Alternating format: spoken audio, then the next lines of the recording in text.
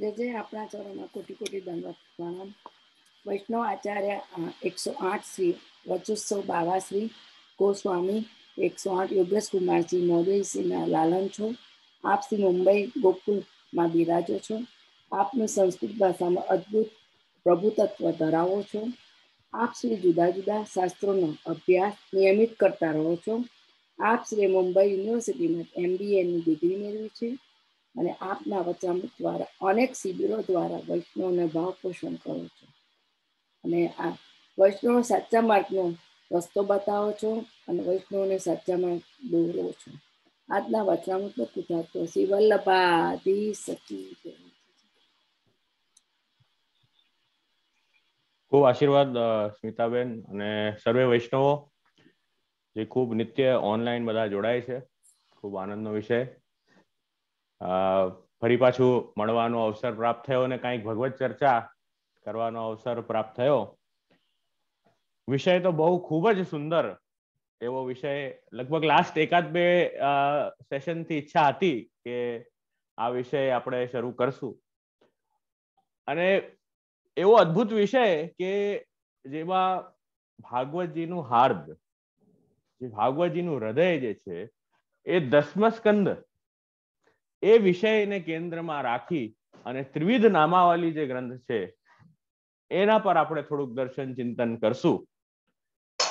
તો આજે તો થોડુંક પૂર્વ ભૂમિકા જોશું. શ્રી ભાગવતજી ની થોડી પૂર્વ ભૂમિકા જોશું કે ભાગવત શાસ્ત્ર છે, એ શું છે, દસમ સ્કંદ ક્યાં આવી રહ્યું છે, એ આપણે જોશું. અને એના પછી જે છે, ત્રિવિધ નામાવલીનું ક્યાં સ્થાન છે થોડાક એ પોઈન્ટ દર્શન કરશું. અને પછી જે છે એ આપણે આજનો આપણો જે વિષય છે એ શરૂ કરશું. બરાબર? મંગલાચરણનો પાઠ કરી અને આજનો ક્રમ શરૂ કરશું. ચિંતા સંતાન અંતારો યત્પાદાંબુજરેણવઃ સ્વિયાનાંતાન નિજાચાર્યાન પ્રણમામી મુહુર્મુહુ. यदनुग्रहतो जन्तुः सर्वदुःखातिगो भवेत्। तमहं सर्वदा वंदे श्रीमद्वल्लभनन्दनम्। अज्ञानतिमिरान्धस्य ज्ञानाञ्जनशलाकया चक्षुरुन्मीलितं येन तस्मै श्रीगुरुवे नमः। नमामि हृदये शेषे लीलाक्षीराब्धिशायनम्। लक्ष्मीसहस्रलीलाभि सेव्यमानं कलानिधिं चतुर्भिश्च चतुर्भिश्च चतुर्भिश्च त्रिभिस्तथा। षड्भिर्विराजते योऽसौ पञ्चधारदये मम। તો આજનો આપણે જે વિષય છે, એ ત્રિવિધ નામાવલીનો વિષય. એની શરૂઆત કરતા પહેલા થોડી પૂર્વ ભૂમિકા જાણી લઈએ. અને ચલો, આજ તો પ્રથમ નામ લગભગ નહીં શરૂ થાય, કે શરૂ થશે તો એકાદ મૂળ મૂળ નામ જે ઠાકુરજીનો છે, એ દર્શન થશે. પણ જરૂરી એ છે કે નેક્સ્ટ સેશનથી આપ બધા જે છે એ સામે ત્રિવિધ નામાવલીના નામો હોય જે ગ્રંથ, ત્રિવિધ નામાવલી જે ગ્રંથ છે, જે શ્રી મહાપ્રભુજી દ્વારા રચિત છે, એ ગ્રંથની જે નામાવલી છે, જે નામો જે આવ્યા છે ને, એ બધા તમારા સામે હોય અને પછી જ્યારે એનું વિવેચન થાય, કેમ કે જો આમાં છે ને, આ વિષય જે છે ને, એમાં સંપૂર્ણ દસમ સ્કંદ જે છે, એ આવી જવાનું આ વિષયમાં એ સંપૂર્ણ દસમ સ્કંદ જ આવવાનું છે. એટલે કહેવાનો તાત્પર્ય છે કે એ ભાગવતજીનું હૃદયનું ચિંતન આપણે આ વિષય આ ત્રિવિધ નામાવલી ગ્રંથમાં કરવાનું છે.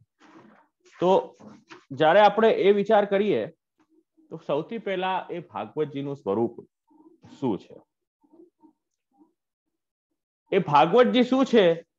તો શ્રી મહાપ્રભુજી કહે છે, એ તો પ્રમાણ ચતુષ્ટય, જે મુખ્ય આપણા પ્રમાણ ચતુષ્ટય છે. કયા પ્રમાણ? ચાર મુખ્ય પ્રમાણ છે. વેદાહ શ્રી કૃષ્ણ વાક્યાની વ્યાસ સૂત્રાણી ચૈવહી સમાધિ ભાષા વ્યાસસ્ય પ્રમાણમ તચતુષ્ટયમ આપણા ત્યાં ચાર પ્રમાણ જે છે સ્વીકારવામાં આવ્યા છે કોઈ પણ વસ્તુનો અર્થ જે છે એ આ ચારના આધારે જ થાય શાસ્ત્રનો અર્થ જે છે એ આ ચાર વસ્તુના આધારે જ થશે વેદ વેદાહ પેલો પ્રમાણ બીજો પ્રમાણ શ્રી કૃષ્ણ વાક્યાની. ભગવાન શ્રી કૃષ્ણના જે વાક્ય છે બીજો પ્રમાણ. એટલે શું? ભગવદ્ ગીતા. થોડા કેમેરા ઓન કરો તો મને બોલવામાં જરા આનંદ આવે. બે ત્રણ જ ખાલી કેમેરા ઓન છે, તો કઈ કોઈનું રિએક્શન ન મળે. તો પેલો જે પ્રમાણ છે, પેલો જે પ્રમાણ છે એ વેદ સેકન્ડ પ્રમાણ જે છે એ કૃષ્ણ વાક્યાની. થર્ડ જે પ્રમાણ છે દેટ ઇઝ વ્યાસ સૂત્ર એટલે બ્રહ્મસૂત્ર અને ફોર્થ જે છે, સમાધિ ભાષા વ્યાસસ્ય. આ જે ચાર પ્રમાણમ તચ ચતુષ્ટયમ આ ચાર આપણા ત્યાં છે ને પ્રમાણ ગણવામાં આવ્યા છે. હું ખાલી એક બેઝિક બેકગ્રાઉન્ડ આપી રહ્યો છું. બેઝિક બેકગ્રાઉન્ડ આપી રહ્યો છું ત્રિવિધ નામાવલીનું. કે આ કેવી રીતે ત્રિવિધ નામાવલી આવશે? અને તમે એક હજી એક ગ્રંથનું નામ સાંભળ્યું હશે, શ્રી વલ્લભ દ્વારા રચિત છે, પુરુષોત્તમ સહસ્ત્ર એ ગ્રંથનું પણ તમે નામ શ્રવણ કર્યો હશે. તો how how is Trividh Namavali different from Purushottam Sahastra Naam એ પણ આપણે થોડું આજે ચર્ચા કરશું. તો વેદાહ શ્રી કૃષ્ણ વાક્યાની, વેદ શ્રી કૃષ્ણ વાક્યાની વ્યાસ સૂત્ર બ્રહ્મસૂત્ર અને સમાધિ ભાષા વ્યાસસ્ય. આ ચાર પ્રમાણ છે. અને આના અર્થ કેવી રીતે કરવાના છે? કે ઉત્તર પૂર્વ સંદેહ વારકમ પરિકીર્તિતમ એનો અર્થ કેવી રીતે કરવાનું છે કે વેદ, વેદમાં કઈ ડાઉટ હોય તો એનું જે અર્થ છે એ ગીતાથી કરવાનું. એમાં કઈ ડાઉટ હોય તો ગીતાથી એ સોલ્વ કરવાનું. ગીતામાં કઈ ડાઉટ હોય તો એને જે છે એ વ્યાસ સૂત્રથી બ્રહ્મસૂત્રથી સોલ્વ કરવાનું અને એમાં કઈ ડાઉટ હોય તો એ પછી છેલ્લે શ્રીમદ ભાગવતથી સોલ્વ કરવાનું. શ્રીમદ ભાગવત જે છે એ સર્વ સંદેહ વારક શાસ્ત્ર છે. કે શ્રીમદ ભાગવત વાંચવાથી, પઠન કરવાથી, શ્રવણ કરવાથી, ચિંતન શ્રી ભાગવતજીનું કરવાથી શું થશે? બધા સંદેહો દૂર થઈ જશે. કેમ કે ભાગવતજી એટલા સુંદર રીતે ગીતાનો જ ભગવત ગીતાનું વિસ્તાર રૂપ છે ને, એ શ્રીમદ ભાગવત છે. ગીતાજીમાં થિયરી છે. બરાબર? અને ભાગવતજીમાં થિયરી વિથ પ્રેક્ટિકલ છે. ત્યારે જ્યારે પ્રેક્ટિકલ વિથ ઇલસ્ટ્રેટિવ એક્ઝામ્પલ સરસ રીતે સમજાય, તો આપણને બહુ સારી રીતે ઈઝી પડે સમજવામાં. એક્ઝામ્પલ્સ જ્યાં વધારે હોય જ્યાં આપણે કોઈ ગ્રંથ વાંચતા હોઈએ કે કોઈ એવી કથા આપણે કોઈ પ્રિન્સિપલ જોતા હોઈએ, તો એના સાથે આપણે જેમ વાર્તાઓ આપણે જોડી દઈએ. જેમ પુષ્ટિ માર્ગના ગ્રંથો વાંચતા હોઈએ એના સાથે ચોર્યાસી, બસો બાવન વૈષ્ણવોની વાર્તા, આપણા આચાર્યો કેવી રીતે જીવ્યા, વૈષ્ણવ કેવી રીતે જીવ્યા શું આજ્ઞા કરી છે? એ બધું આપણે જયારે જોડી દઈએ ઇઝીલી સમજાય. એવી રીતે શ્રીમદ ભાગવતજી જે છે, શ્રીમદ ભાગવતજી પણ એવી રીતે જ છે કે ગીતાજીમાં જે થિયરી હતી, ગીતાજીમાં જે થિયરી હતી, એને જ પ્રોપરલી પ્રેક્ટિકલ ડેમોન્સ્ટ્રેટ કરીને ઠાકુરજીએ એ જ એક્ઝામ્પલ સાથે આપણને સમજાવ્યું. આ વાત છે. હવે, સર્વ સંદેહ વારક શાસ્ત્ર જે છે શ્રીમદ ભાગવત છે પણ શ્રી ભાગવતજીની રચના કેવી રીતે થઈ? તો આપ બધાને તો કથા ખ્યાલ જ હશે કે શ્રીમદ ભાગવતજીની રચના કેવી રીતે થઈ? કે વેદ વ્યાસજી છે, એમણે ઘણા બધા જે છે પુરાણોની રચના કરી.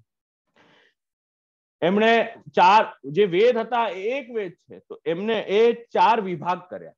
વેદના એક વેદનો ચાર ભાગ કર્યા, કે લોકોને સમજવામાં ઈઝી પડે કેટેગરાઇઝેશન કર્યું વેદનું. પછી જે યજ્ઞ અને કર્મ બધા કરતા હતા. પણ હવે એ તો બધા કરી ન શકે.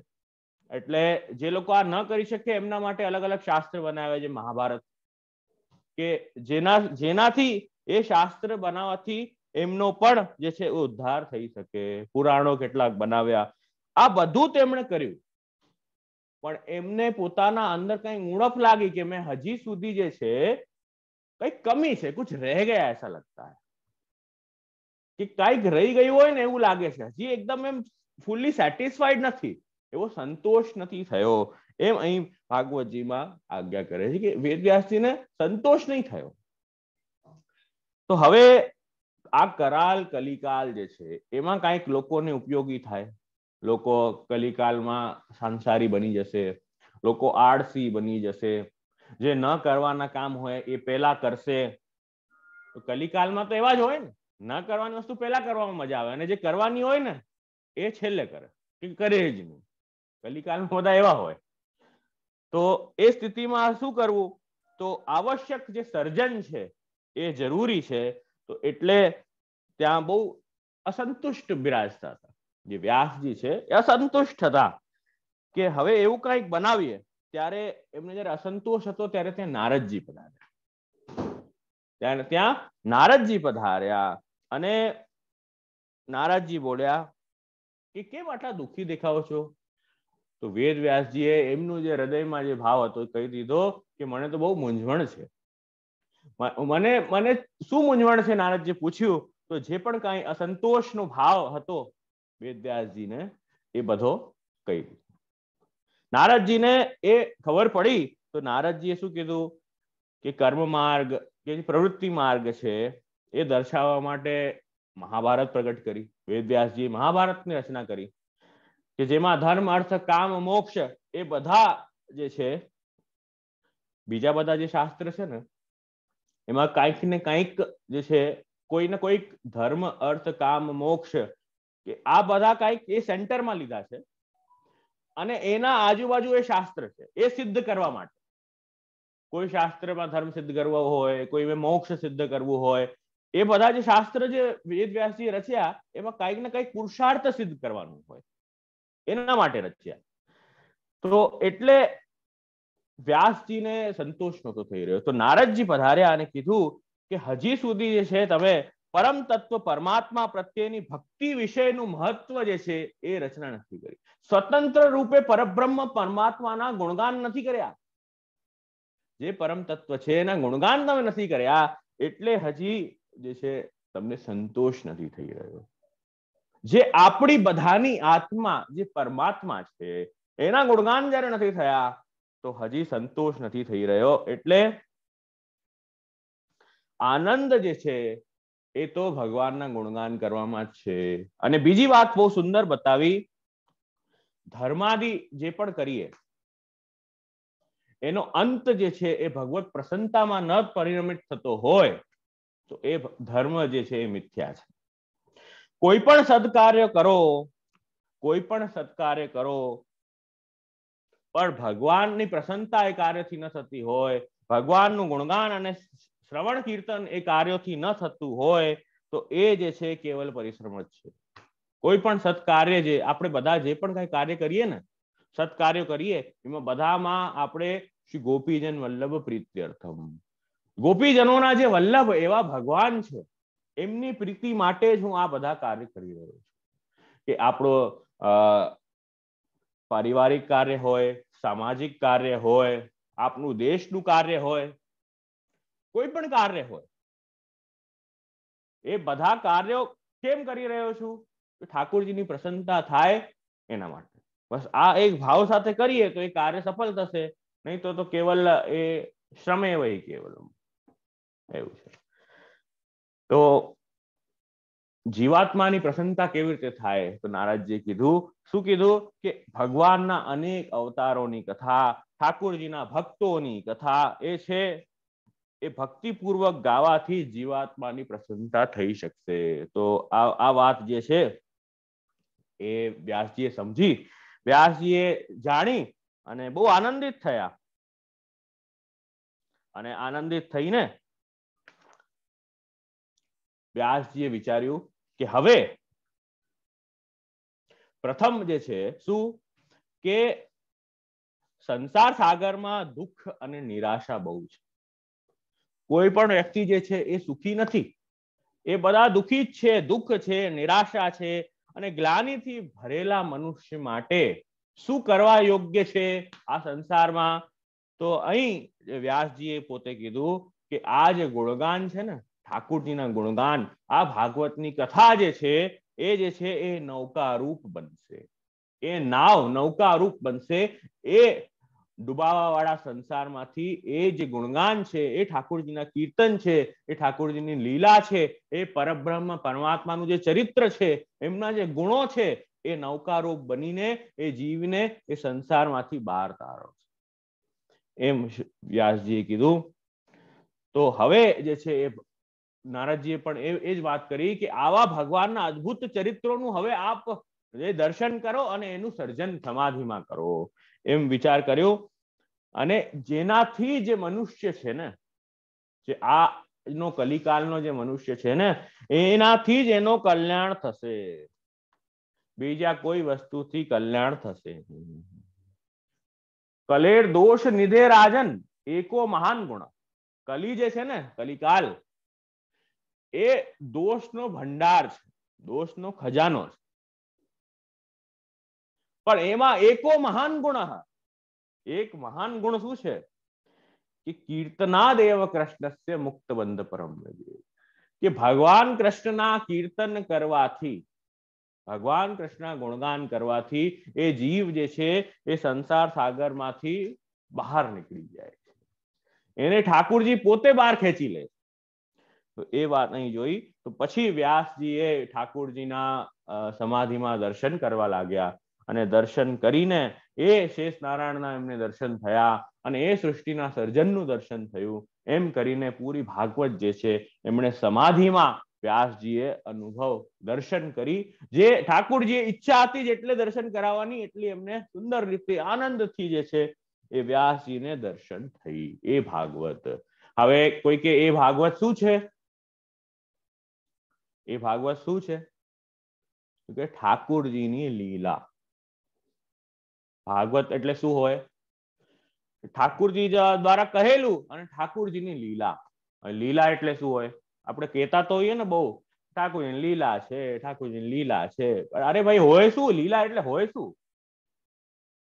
લીલા એટલે અનાયાસેન હર્ષાત ક્રિયમાણા ચેષ્ટા અનાયાસ કોઈ પણ પ્રયોજન વગર કોઈ પણ પ્રયોજન વગર અનાયાસેન હર્ષાત, આનંદથી અનાયાસેન હર્ષાત ક્રિયમાણ ચેષ્ટા, કરાયેલી જે ચેષ્ટાઓ છે કોઈ પણ પ્રયોજન વગર આનંદથી અને આનંદ આપવા માટે અને આનંદ લેવા માટે જે ચેષ્ટાઓ કરવામાં આવે, એને લીલા કહેવાય. અને આખા સમગ્ર ભાગવત શાસ્ત્ર જે છે, એનો શું અર્થ છે? समग्र भागवत शास्त्र नो शु अर्थ है आनंद से हरेर लीला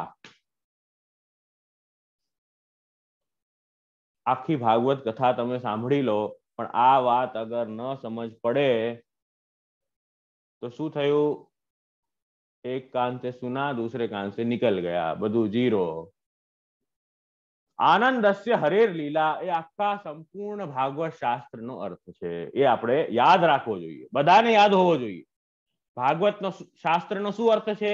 આનંદસ્ય હરે લીલા. બરાબર? હવે, આ જે લીલા છે એ વ્યાસજીએ કેવલ ને કેવલ ઠાકુરજીના ગુણગાન ગાવા માટે જ જે છે આ શાસ્ત્ર પ્રગટ થયો છે.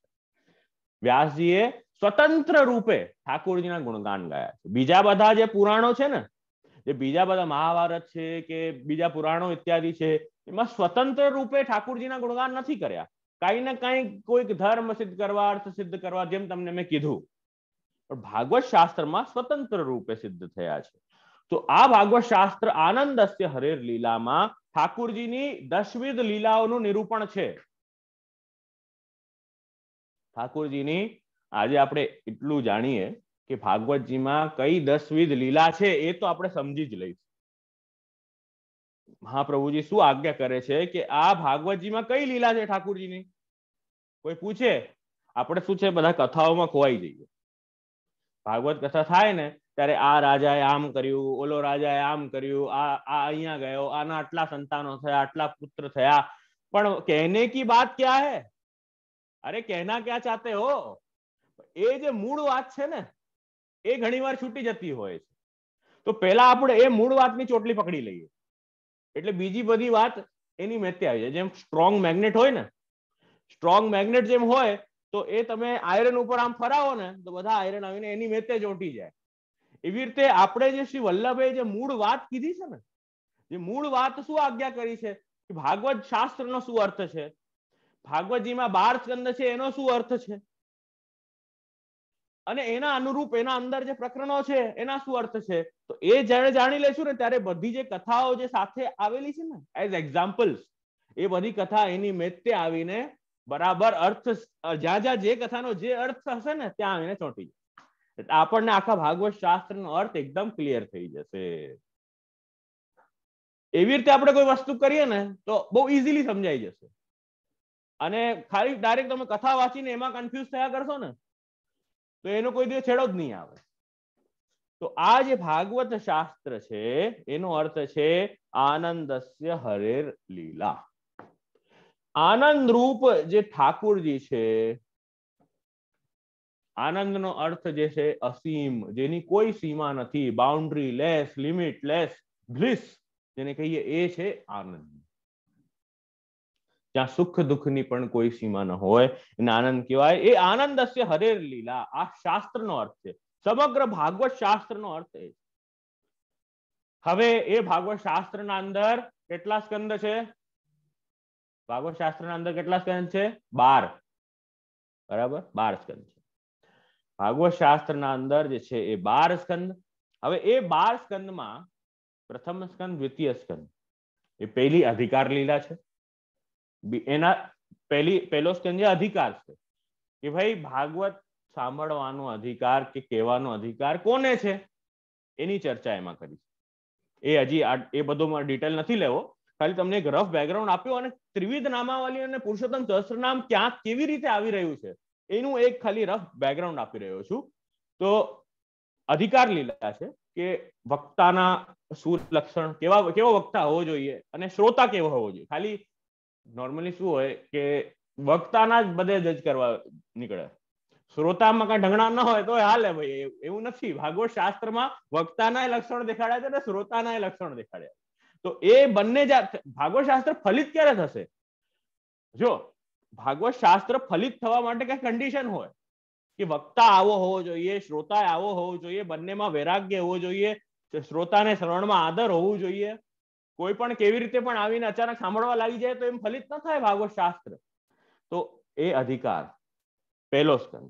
બીજામાં સાધન છે. કયા કયા સાધન કરવા જોઈએ, શું શું સાધન કરવું જોઈએ? અને હવે જે ત્રીજો સ્કંદ છે, ત્યાંથી એ જે ભાગવતમાં દશવિધ લીલા છે, ઠાકુરજીની દસ પ્રકારે, દસ પ્રકાર વડે ઠાકુરજી લીલા કરી છે, એ થર્ડ સ્કંદથી સ્ટાર્ટ થાય છે. થર્ડ સ્કંદથી એ સ્ટાર્ટ થાય છે.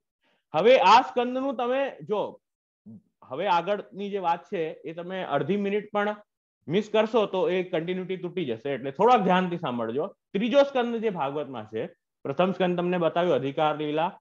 સેકન્ડ સ્કંદ જે છે, એ સાધન લીલા છે. આ બે સ્કંદ છે, એ ભાગવત શાસ્ત્ર ને સમજવા માટે આ બે વસ્તુ જરૂરી છે. ફલિત કોને થાય? ત્રીજા સ્કંદમાં જે છે, એ સર્ગ લીલા છે. ત્રીજો સ્કંદ શું છે? સર્ગ લીલા વોટ ઇઝ સર્ગ લીલા સૌથી પહેલા તો આજ કૃષ્ણ થાય. આવા ભારી ભારી વર્ડ વાપરો છો, કઈ બતાવો તો ખરા, પણ સર્ગ લીલા સર્ગ લીલા એટલે કે સૃષ્ટિના ઉત્પત્તિના કારણ. એ સર્ગ લીલા છે. બેઝિક એલિમેન્ટ્સ જે ઉત્પન્ન થયા. દેટ ઇઝ સર્ગ લીલા એ ત્રીજા સ્કંદનો વિષય છે. કે બધા બેઝિક એલિમેન્ટ અઠ્યાવીસ તત્વો ઇત્યાદિ જે છે, એ ઉત્પન્ન થયા. કાંઈ પણ વસ્તુ સર્જન કરવી, નિર્માણ કરવી હશે તમારે તો બેઝિક એલિમેન્ટ તો જોઈશે ને? જેમ બિલ્ડિંગ બનાવી છે. બિલ્ડિંગ બનાવી છે કન્સ્ટ્રક્ટ કરવી છે, તો બેઝિક એલિમેન્ટ તો જોઈશે ને? સળિયા જોઈશે સિમેન્ટ જોઈશે બનાવવા વાળો માણસ જોઈશે આ બધા બેઝિક વસ્તુઓ તો જોશે ને? કોઈ પણ વસ્તુ. જેમ તમારે કુક કુકિંગ કરવી હોય, તો એમાં પણ જે વસ્તુ કુકિંગ કરવી છે, એની એલિમેન્ટ તો જોઈશે ને? એ બેઝિક એલિમેન્ટ તો દેટ ઇઝ ઇન થર્ડ સ્કંદ. સર્ગ લીલા જે છે, એ બેઝિક એલિમેન્ટ ફોર્થ સ્કંદ જે છે, એ વિસર્ગ લીલા આ હું છે ને આજે દસ લીલા બોલવું છું ને, એ તમારે આજે હું યાદ કરાવી દેવાનો તમે કેવી રીતે બોલવા જોઈએ આ સેશન પૂરું થાય ને, એના પછી તમે આમ બોલી શકશો. સર્ગ, વિસર્ગ, સ્થાન, પોષણ, ઉતિ, મનવંતર, ઈશાનું કથા, નિરોધ, મુક્તિ ને આશ્રય. આ દસ લીલા છે. એમ તમે બોલવા જોઈએ. જો, આ પૂરું થાય પછી કરશું આપણે. તો તો ભાગવતજીમાં દસ લીલા કઈ છે? ખબર તો હોવી જોઈએ ને. આપણે વૈષ્ણવ છીએ, આપણું ભાગવત જે છે આપણી, આપણો મુખ્ય શાસ્ત્ર છે. ભક્તિ શાસ્ત્ર એ ભાગવત છે. તો એના બારેમાં તો આપણને ઇન્ફોર્મેશન વ્યવસ્થિત હોવી જોઈએ. તો ત્રીજો સ્કંદ જે છે સર્ગ લીલા ચોથો સ્કંદ જે છે વિસર્ગ લીલા હવે વિસર્ગ શું હોય? તો કહી રહ્યા છે, બધા કાર્યોની ઉત્પત્તિ. કાર્ય એટલે ધર્મ, અર્થ, કામ, મોક્ષ એવા બધા પુરુષાર્થોની ઉત્પત્તિ. એ બધા પ્રાપ્ત કેવી રીતે કરવા? એ બધા ભગવાને સિદ્ધ કરાવી દીધા. એ બધા જે કાર્યો છે, એ ઠાકોરજીએ સિદ્ધ કરાવ્યા. એ બધા કાર્યોની ઉત્પત્તિ થઈ. કે ધર્મ સેને કે અર્થ શું, કામ શું, મોક્ષ શું, એ બધાની ઉત્પત્તિ વિસર્ગ લીલા છે. હવે ત્રીજો સ્કંદ સર્ગ, ચોથો સ્કંદ વિસર્ગ, હવે પાંચમો સ્કંદ જે છે, એ સ્થાન લીલા. વૈકુંઠ વિજય સ્થિતિ એટલે વૈકુંઠાધિપતિ એ ભગવાન જે છે એના બધા, બધી વસ્તુ પર એનો કંટ્રોલ છે. સ્થાન લીલા છે. બધી વસ્તુ પર કંટ્રોલ છે. બધી વસ્તુની લિમિટ ભગવાને બાંધી છે. ન સમજ પડે તો પૂછી લેજો. એવા ડરેલા ડરેલા મોઢા લઈને નહીં બેસો. બરાબર? ટેન્શનમાં નહીં બેસો. ન સમજ પડે તો પૂછી લેવાનું. બરાબર? એમાં કઈ ટેન્શનની વાત નથી. તો સ્થાન. જો ભાગવત શાસ્ત્ર છે તો સાવ જ ઇઝી નહીં. એમ ઠાકુરજીની લીલા એમ તરત ન શરૂ થઈ જાય. એ પરબ્રહ્મ પરમાત્મા ભગવાન કૃષ્ણની લીલા છે, તો એને આગળ અને પાછળ બ્રેકેટ લગાડવા પડશે. તેના, એ પરમ તત્વ ભગવાનના મહાત્મ્યનું બ્રેકેટ લગાડવું પડશે. નહીં તો ઠાકોરજીની લીલાના જયારે દર્શન કરશું ને આપણે, તો લૌકિકતા દેખાશે. એવા લાગશે અરે આ તો નાનો બચ્ચો છે, આપણો નાનો છોકરો ન રમતો હોય, એવા, એવો ભાવ આવી જશે. એટલે સૌથી પહેલા એ બ્રેકેટ લગાડવું જરૂરી છે. શેનું? પરબ્રહ્મ પરમાત્માનું બ્રેકેટ. દસમસ્કંદમાં પણ એ જ થશે, જો. દસમસ્કંદના પહેલા ચાર અધ્યાય જે છે જન્મ પ્રકરણના છે. એમાં ભગવાન કેવા પરબ્રહ્મ છે, ઠાકુરજી કેવી રીતે, કેવા છે પહેલા ચાર અધ્યાયમાં? અને છેલ્લા ચાર અધ્યાયમાં ફરી પાછો ગુણ પ્રકરણ આવશે.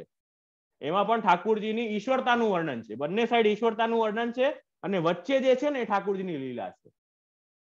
એવી રીતે ભાગવતજીમાં પણ એવી રીતે જ આપણે જોવાનું નહીં તો ઠાકુરજી નોર્મલ બાલક છે કે નોર્મલ મનુષ્ય છે, એવી ભાવનાઓ છે.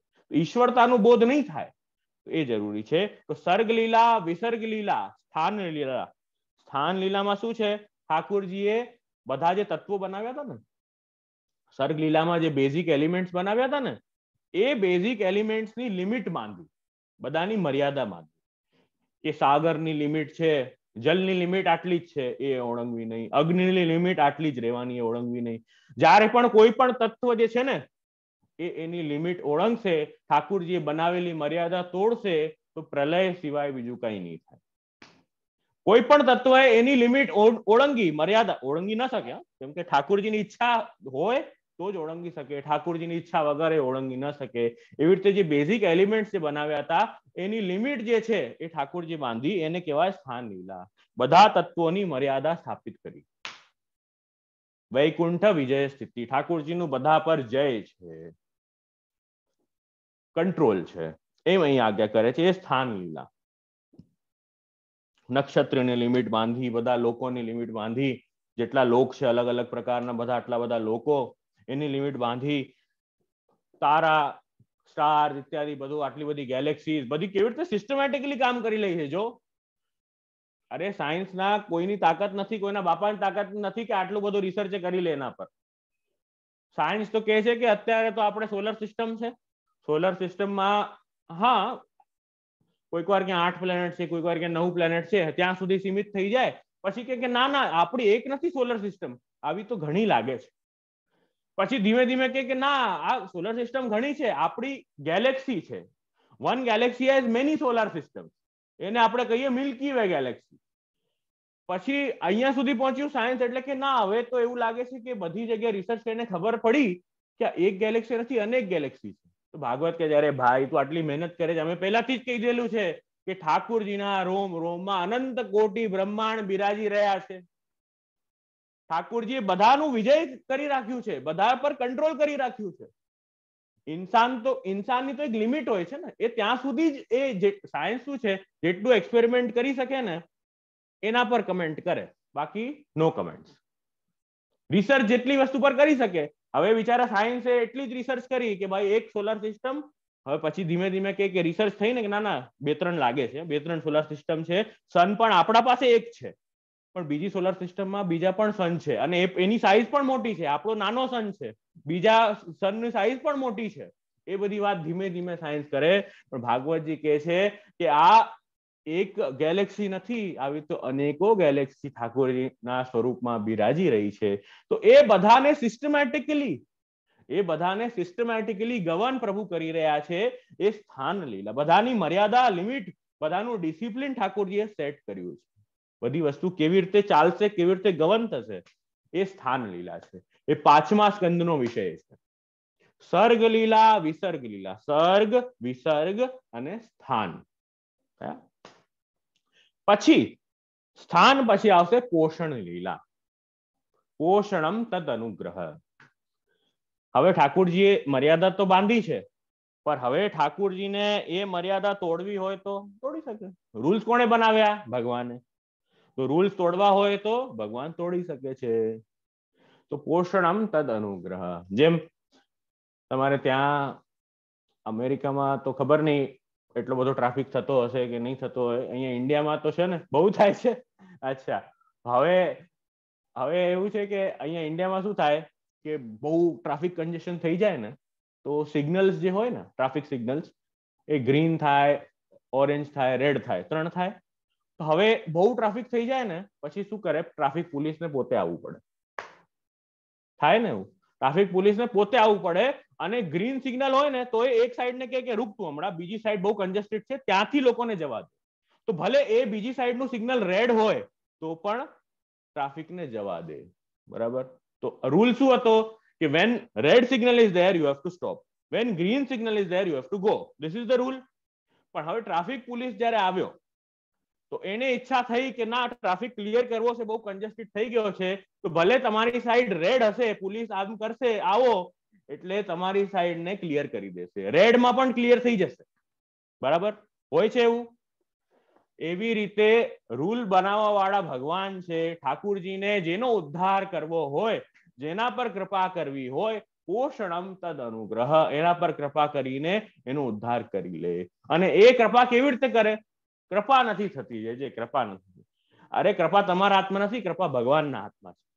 કૃપા કોના પર પ્રગટ થાય? કે જે આ ત્રણ વસ્તુ કરતો કયું? નામ, ધ્યાન અને અર્ચન. ત્રણ વસ્તુ જે કરે છઠ્ઠા સ્કંદમાં ત્રણ પ્રકરણ છે. નામ પ્રકરણ, ધ્યાન પ્રકરણ અને અર્ચન પ્રકરણ. આ ત્રણ ત્રણ પ્રકરણ છઠ્ઠા સ્કંદમાં છે. તો એ પોષણ છે કે નિયમ બનાને વાલા નિયમ ભી તોડ સકતા હૈ. હવે કોઈને વિચાર થાય, અરે આ તો ચીટિંગ થશે. હવે કોઈ કે કઈ કોઈ કે સાધન નહીં કર્યા હોય, કોઈ કે ખોટા સાધન કર્યા હશે, એનો ઉદ્ધાર થઈ જશે. તો કે હા, ઠાકુરજીને કરવો હશે તો થઈ જશે. એને નિયમ બદલવા હશે થઈ જશે. પણ નોર્મલી આવી રીતે ન હોય.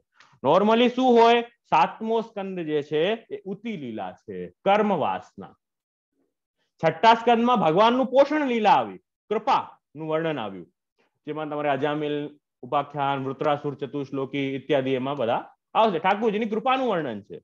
સાતમા સ્કંદમાં છે કર્મ વાસના એટલે સદવાસના અસદ વાસના સારી વાસના સારા કર્મ કરો તો સારી વાસના સારી વાસના હોય તો સારા કર્મ કરી શકે અસદ વાસના ખરાબ વાસના એ અધર્મમાં પ્રેરિત કરે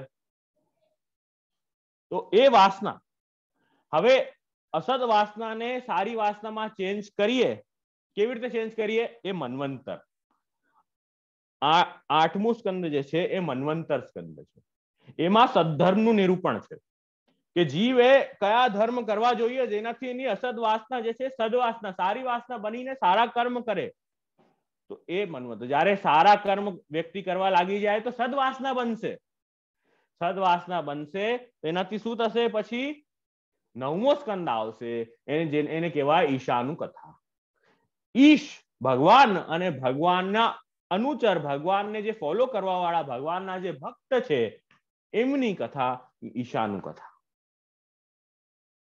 એમની કથા એ ઈશાનું કથા, એ નવમ સ્કંદ છે. તો એ એ ભક્તિ સ્કંદ છે. તો જ્યારે સારા કર્મ, જો, પોષણ આવ્યું, પોષણ છઠ્ઠો સ્કંદ આવ્યો. પોષણ તદ અનુગ્રહ. એ છઠ્ઠા સ્કંદથી સાતમો સ્કંદ છે કે હવે સારા કર્મ કરે તો સદવાસના પ્રગટ થાય, ખરાબ કર્મ કરે તો અસદવાસના પ્રગટ થાય. બરાબર? હવે મનવંતરમાં જે જે સમયમાં જે ધર્મ બતાવ્યો હોય એ ધર્મ કરવું જોઈએ. એ ધર્મ જ્યારે જીવ ફોલો કરશે તો એને સદવાસના પ્રગટ થશે. સદવાસના પ્રગટ થશે તો ઠાકોરજીની ભક્તિ કરવામાં પ્રેરણા થશે. હવે નવમો સ્કંદ છે ભક્તિ સ્કંદ છે. એ ભક્તિ સ્કંદ છે નવમો સ્કંદ. તો જ્યારે જીવ ભક્તિ કરશે, ભક્તિ કરતા કરતા ઠાકુરજીથી જોડાશે. અને જ્યારે એ ભક્તિ શુદ્ધ થઈ જશે, ભક્તિની પરમ અવસ્થા જે શુદ્ધ અવસ્થા જે છે એ ભક્તિની, એ જે છે દસમો સ્કંદ છે, એ નિરુદ્ધ સ્કંદ ત્યારે એનું જઈને ભક્તિ કરવા લાગશે જીવ, ભક્તિ કરશે, ભક્તિ સિદ્ધ થશે અને જ્યારે એનું મન ભગવાનમાં પરોવાઈ જશે, ઠાકુરજીમાં અટકી જશે, એ નિરોધ સ્કંદ છે, એ દસમો સ્કંદ છે. આ પ્રોસિજર છે એક. કઈ અચાનક નથી થતું કઈ. આખી પૂરી પ્રોસિજર સૃષ્ટિ ઉત્પન્ન થઈ ત્યાંથી કેવી રીતે જીવનું મન પ્રભુમાં અટકી રહ્યું છે? નિરુદ્ધ સ્કંદ દસમો સ્કંદ છે અને અગિયારમો સ્કંદ જે છે એ કયું સ્કંદ છે? એને મુક્તિ. કે ભગવાન નિરુદ્ધ જ્યારે જીવ થઈ જશે, તો એના પછી જીવ મુક્ત થઈ જશે. મુક્ત થઈ જશે. ભગવાન ઓરિજિનલ ફોર્મમાં એ જીવ મુક્ત થઈને એ જીવ ભગવાનનો અંશરૂપ છે એમ એને ભાન થઈ જશે. અને પછી જે છે બારમા સ્કંદમાં ઠાકુરજીના સ્વરૂપમાં એ જીવ ઓરિજિનલ ફોર્મમાં આવી જશે, એ આશ્રય લીલા તો એ અહીં બાર સ્કંદનું બ્રીફ તમને બતાવ્યું કે આ રીતે છે. સર્ગ, વિસર્ગ, સ્થાન, પોષણ, ઉતિ, મન્વંતર ઈશાનું કથા નિરોધ, મુક્તિ અને આશ્રય આ ભાગવતજી આનંદસ્ય હરેર લીલા જે ભાગવત છે, એના શાસ્ત્રનો અર્થ આનંદસ્ય હરેર લીલા ભાગવત શાસ્ત્રનો અર્થ, અને એમાં બતાવેલી દશવિધ જે લીલા છે ઠાકોરજી દસ દસ પ્રકાર વડે જે લીલા કરી રહ્યા છે, એ લીલા દસ પ્રકારની છે. સમજ પડી? બહુ કઠિન ગયું. આ તો ખાલી ટોપ, આપણે ઉપર ઉપરના જે ટોપિક્સ છે ને, એ જ જોયા. જે આનું વિસ્તાર કઈ નથી કર્યું. એ વિસ્તાર તો આખું શ્રીમદ ભાગવત સત્સંગ થઈ જશે, ભાગવત કથા જ પૂરી થઈ જશે. પણ કહેવાનો મતલબ છે, આ બ્રીફ ઇન્ટ્રોડક્શન આપ્યો. હવે, સર્ગ વિસર્ગ સ્થાન, યાદ રહેશે આ? સર્ગ વિસર્ગ સ્થાન, પોષણ, ઉતિ, મનવંતર ઈશાનું કથા નિરોધ, મુક્તિ અને આશ્રય. બરાબર? હું એ માનું છું કે યાદ રહેશે. જેટલા કેમેરા પાંચ સાત ચાલુ છે, એમાં એમને યાદ રહેશે, એવું લાગે છે. બાકીને યાદ નહીં રહે. કેમેરા ચાલુ નથી કરતા. હવે સુવો છો, જાગો છો, શું કરો ભગવાન જાણે બધું. ચાલે બધું તો ખબર ન પડે. તો આ તો રહી દસવીધ ઠાકુરજીની જે દસવીધ લીલા છે ને એનું વર્ણન. હવે આપણે કઈ લીલા જોવાની છે? તો કે દસમા સ્કંદની જે લીલા છે ને, જેમાં મન ભક્તોનું જે મન પ્રભુમાં અટકી ગયું ઠાકુરજી અટકાવી દીધું. એ જે દસમો સ્કંદ જે છે, એ નિરોધ સ્કંદ જે છે. નિરોધસ્ય અનુશયનમ આત્મન સશક્તિ એટલે નિરોધનું શું અર્થ થાય કે પ્રપંચ વિસ્મૃતિ પૂર્વક ભગવદ આસક્તિ. જે દસમો સ્કંદ છે. તમને મેં આખી લિંક બતાવી કે દસમા સ્કંદ સુધી કેવી રીતે આવે? બરાબર? દસમા સ્કંદ સુધી કેવી રીતે આવ્યા એ તમને આખી લિંક બતાવી. હવે ટેન્થ સ્કંદ જે છે, નિરોધ સ્કંદ છે કે બધું ભૂલી જાય. સંસારને ભૂલી જાય, પ્રપંચ વિસ્મૃતિ પૂર્વક અને કેવલ ને કેવલ ઠાકુરજીમાં આસક્તિ થાય એને નિરોધ નિતરામ રોધ એથી નિરોધ. સારી રીતે અટકી જવું એને નિરોધ કહેવાય. નિતરામ રોધ ઇતિ નિરોધ. સારી રીતે અટકી જવું. શું? મન અટકી જવું. તો એ એને નિરોધ કહેવાય. હવે આ જે નિરોધ સ્કંદ છે, દસમ સ્કંદમાં સૌથી મોટું સ્કંદ આ છે. દસમ સ્કંદનો જે હૃદય છે, ભાગવતજીનું હૃદય એ આ દસમ સ્કંદ છે, નિરોધ સ્કંદ છે. હવે તમે જયારે જુઓ છો, દશવિધ લીલા હવે તમે જયારે જાણ્યા છો, તો દશવિધ લીલા જાણીને, દશવિધ લીલા જાણીને હવે નેવું અધ્યાય આ સ્કંદમાં છે. ભાગવતજીના દસમા સ્કંદમાં નેવું અધ્યાય છે. ત્રણ અધ્યાય શ્રી મહાપ્રભુજી પ્રક્ષિપ્ત માને છે. પ્રક્ષિપ્ત એટલે બીજા પુરાણના અધ્યાય આમાં આવ્યા છે. કથા તો સાચી જ છે. કથા તો છે જ. પણ આ ભાગવત શાસ્ત્રના ત્રણ અધ્યાય નથી. એ બીજા બીજા પુરાણના અધ્યાય આવેલા. બહુ સુંદર અધ્યાયો છે. એ આપણે આગળ ચર્ચા કરશું. કયા કયા અધ્યાયમાં શું શું કથા આવી આપણે આગળ એના ચર્ચા કરશું. સત્યાસી અધ્યાય એમ ગણ્યા છે. હવે આપણે જે મંગલાચરણમાં બોલીએ છીએ શું બોલીએ છીએ? ચતુર્વિશ્ચ ચતુર્વિશ્ચ ચતુર્વિશ્ચ ત્રિવિશ તથા ષડભીર, વિરાજ તેયો સૌ પંચદા હૃદય આ મંગલાચરણમાં બોલીએ છીએ ને? આ તો બધાને યાદ છે. બસ આની જ વાત આપણે કરવાની છે ત્રિવિધ નામાવલીમાં. આની જ તો વાત કરવાની. બીજી એક્સ્ટ્રા કોઈ વાત નથી. આ જે ચતુર્વિશ્ચ ચતુર્વિશ્ચ જે છે, એનો જ વર્ણન છે આપણે આગળમાં આવતા જેટલા ટન થશે એ બધામાં આનો જ વર્ણન જે છે એ કરવાનું છે. આ સંક્ષેપમાં કહી દીધું. પેલો જે ચતુર્વિશ્ય છે શું છે? હવે આપણે દસમા સ્કંદ પર આવી ગયા છીએ. એ શ્રીનાથજી બાઉનું હૃદય છે દસમો સ્કંદ. એ દસમા સ્કંદ પર આપણે આવ્યા છીએ. થોડી પૂર્વ ભૂમિકા આપણે જોઈ.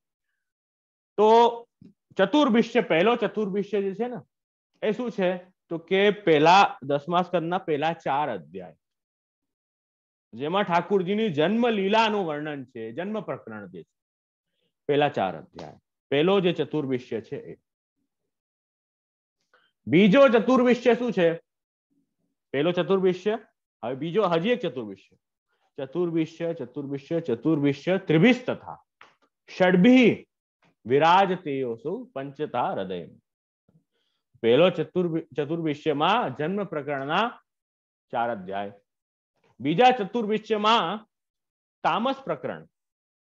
તામસ પ્રકરણ જે પાંચમા અધ્યાયથી સ્ટાર્ટ થાય છે. તામસ પ્રકરણના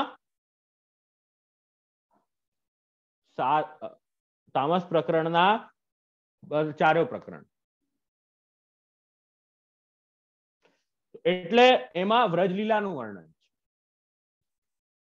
એમાં વ્રજલીલાનું વર્ણન બીજા બીજું જે ચતુર્વિશ્ય છે, એમાં રાજસ પ્રકરણ ના ચાર પ્રકરણ, એમાં વ્રજલીલા મથુરા લીલા અને દ્વારકા લીલા થોડી થોડી આવે છે, રાજસ પ્રકરણમાં. અને ત્રિભીસ તથા જે છે, એમાં સાત્વિક પ્રકરણમાં પ્રમેય, સાધન અને ફલ પ્રકરણ એનું વર્ણન છે. એમાં દ્વારકા લીલા જે છે. અને ષડભી જે છે, એમાં છેલ્લો જે ગુણ પ્રકરણ છે, એની વાત કરી રહ્યા છે. ષડભી એટલે એમાં છેલ્લો જે ભાગવતમાં ગુણ પ્રકરણ જે આવ્યો છે, એની વાત કરી રહ્યા છે. એવી રીતે આજે ઠાકુરજી બધામાં જે ઠાકુરજી લીલા કરી છે ને, તામસ પ્રકરણમાં, રાજસ પ્રકરણમાં, સાત્વિક પ્રકરણમાં, ગુણ પ્રકરણમાં, જન્મ પ્રકરણમાં ઠાકુરજીએ જે લીલા કરી છે, પ્રમાણ પ્રમેય સાધન ફલ, તામસ પ્રકરણના અંતર્ગત પ્રમાણ પ્રમાણ પ્રમેય સાધન ફલ એ થોડું વિસ્તાર આપણે જોઈશું આગળ. જે રીતે એક એક આપણે ઠાકુરજીના નામનું દર્શન કરતા કરતા ઠાકુરજીને વંદન કરતા જશું. એક એક નામ. એમાં તમારું સંપૂર્ણ દસમ થઈ જશે અને એકદમ પાકું થઈ જશે એકદમ પાકું થઈ જશે દસમ આ આ જયારે તમે ત્રિવિધ નામાવલીનું આનંદથી દર્શન કરી લેશો ત્યારે, તો ચતુર્વિશ્ય ચતુર્વિશ્ય ચતુર્વિશ્ય ત્રિભિશ તથા જન્મ પ્રકરણ, તામસ પ્રકરણ. એમાં પ્રમાણ પ્રમેય સાધન ફલ, રાજસ પ્રકરણમાં પણ પ્રમાણ પ્રમેય સાધન ફલ, સાત્વિક પ્રકરણમાં પ્રમેય સાધન ફલ. આ ત્રણ પ્રકરણ છે. બરાબર? અને ગુણ પ્રકરણમાં છ અધ્યાય. એના વડે પંચધા, આ પાંચ રીતે હૃદય મમ. એ પાંચમાં ઠાકોરજીએ જે જે લીલા કરી છે અને જે રીતે ભક્તોનું નિરોધ કર્યું છે, નિરોધ સિદ્ધ કર્યું છે, એ પંચધા એ મારા હૃદયમાં બિરાજે. હવે આ તો રહી ભાગવતજીની વાત. હવે આ જ ભાગવતજી ઉપર શ્રી ગોપીનાથજી માટે, શ્રી ગોપીનાથજીને તો નિમિત્ત કર્યા, ભક્તો પર કૃપા કરવી હતી. ભક્તો પર કૃપા કરવી હતી એટલે શ્રી મહાપ્રભુજી પુરુષોત્તમ સહસ્ત્ર નામ ગ્રંથનું પ્રગટ કર્યું. ગોપીનાથજીનું એવું, એવી કથા બી પ્રાપ્ત થાય છે કે શ્રી ગોપીનાથજી મહાપ્રભુજીના પ્રથમ લાલજી. શ્રી ગોપીનાથજીનું એવું નિયમ હતું કે સંપૂર્ણ ભાગવતજીનું પાઠ જે પારાયણ થઈ જતું, એના પછી જ આપ છે જે એ ભોજન ગ્રહણ કરતા. આ નિયમ હતું. તો હવે એના કારણે શું થતું કે બહુ વિલંબ થઈ જતું. આખા ભગવતજીના અઢાર હજાર શ્લોકનું પારાયણ કરવું, તો એ કેટલા એમાં બે, ત્રણ ત્રણ દિવસો નીકળી જતા. તો આપ શ્રી ભોજન જ પ્રસાદ જ ન લેતા. તો માતુશ્રીને બહુ ચિંતા થતી કે આવી રીતે કેવી રીતે ચાલશે? તો શ્રી મહાપ્રભુજીને વિનંતી કરી, જો હવે કાંઈક સુંદર પ્રાપ્ત થવાનું હોય ને, તો આ લીલા આવી રીતે થાય. કે ભક્તોના લાભાર્થે આ વસ્તુ પ્રાપ્ત થવાની. હતી નહીં તો ભક્ત, આજનો આધુનિક ભક્ત જે છે એ ભાગવતજીમાં ઠાકુરજી ક્યાં ગોતી લેવાનો? એ તો કથાઓમાં જ ખોવાઈ જવાનો છે. આધુનિક જે જીવ છે જ્યારે ભાગવતજી ઉપાડશે, તો એને બધા સ્થાને પ્રભુના દર્શન થશે જ નહીં. આ પુરુષોત્તમ સહસ્ત્રનામ પ્રગટ થયું છે. શ્રી વલ્લભની એટલી કૃપા છે કે આપણે પહેલા સ્કંદથી લઈને છેલ્લા સ્કંદ સુધી દરેક સ્થાને ઠાકુરજીના દર્શન શ્રી મહાપ્રભુની કૃપાથી થાય. એવો એ પુરુષોત્તમ સહસ્રનામ ગ્રંથ છે. એ પુરુષોત્તમ સહસ્રનામ ગ્રંથ શ્રી ગોપીનાથજી માટે પ્રગટ કર્યો. બધા વૈષ્ણવોના લાભાર્થે પ્રગટ થયો. નિમિત્ત શ્રી ગોપીનાથજી છે પણ બધા વૈષ્ણવના લાભાર્થે પ્રગટ થયું પુરુષોત્તમ સહસ્રનામ એવા બારે બાર સ્કંદો, સ્કંદના નામ છે. બરાબર? આ તો વાત પુરુષોત્તમ સહસ્રનામની રહી. હવે ત્રિવિધ નામા પુરુષોત્તમ સહસ્ત્ર નામમાં પણ નામ છે અને ત્રિવિધ નામાવલીમાં પણ નામ છે. બંનેમાં નામ છે. ત્રિવિધ નામાવલીમાં ભાગવતજીના દસમા સ્કંદના નામો છે. ત્રિવિધ નામાવલીમાં ભાગવતજીના દસમા સ્કંદના નામ છે. તો હવે કોઈ એમ પૂછે તો પુરુષોત્તમ સહસ્ત્ર નામ હતું? તો પછી ત્રિવિધ નામાવલી એક્સ્ટ્રા પ્રગટ કરવાની શું જરૂર હતી? ત્રિવિધ નામાવલી શ્રી ગુસાઈજી માટે નિમિત્તે ગુસાઈજી કર્યા અને પ્રગટ ત્રિવિધ નામાવલી થઈ. એવી રીતે આપણે ઇતિહાસ પ્રાપ્ત થાય છે. તો એ જે ત્રિવિધ નામાવલી છે, એમાં દસમાસ્કંદ નામ છે. પણ દશમાસ્કંદના નામ તો હતા. પણ શ્રી મહાપ્રભુજીને આ વસ્તુ બતાવી હતી કે આખી ભાગવત જે છે એ ઠાકોરજીની લીલા છે, પણ દસમો સ્કંદ છે ને એ કંઈક વિશેષ છે. એને તમે સાધારણ નહીં ગણતા, એ કંઈક વિશેષ છે. એમ શ્રી વલ્લભ એ બતાવું તું. અને ત્રિવિધ નામાવલીમાં છે ને, અલગ અલગ કેટેગરી કરી છે પાછી, નામોની. આપણે આગળ જોઈશું કે અલગ અલગ કેટેગરી કરી છે કે બાલ લીલાના અલગ નામ કર્યા છે, પ્રૌઢ લીલાના અલગ નામ કર્યા છે રાજલીલાના અલગ નામ કર્યા છે. તો એ ત્રિવિધ નામાવલીમાં અલગ અલગ કેટેગરી કરી તો એના, જેના કારણે આપણે ઠાકુરજીની લીલા સમજવામાં બહુ ઈઝી પડે. એના માટે કેટેગરી કરેલી છે.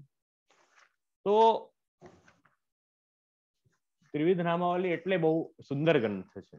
એ દસમો સ્કંદ સુંદર રીતે જે છે એ જીવ સમજી શકે છે. હવે અહીં એમ કહી રહ્યા છે કે શું ઇમ્પોર્ટન્સ ત્રિવિધ નામાવલીથી શું ઇમ્પોર્ટન્સ છે?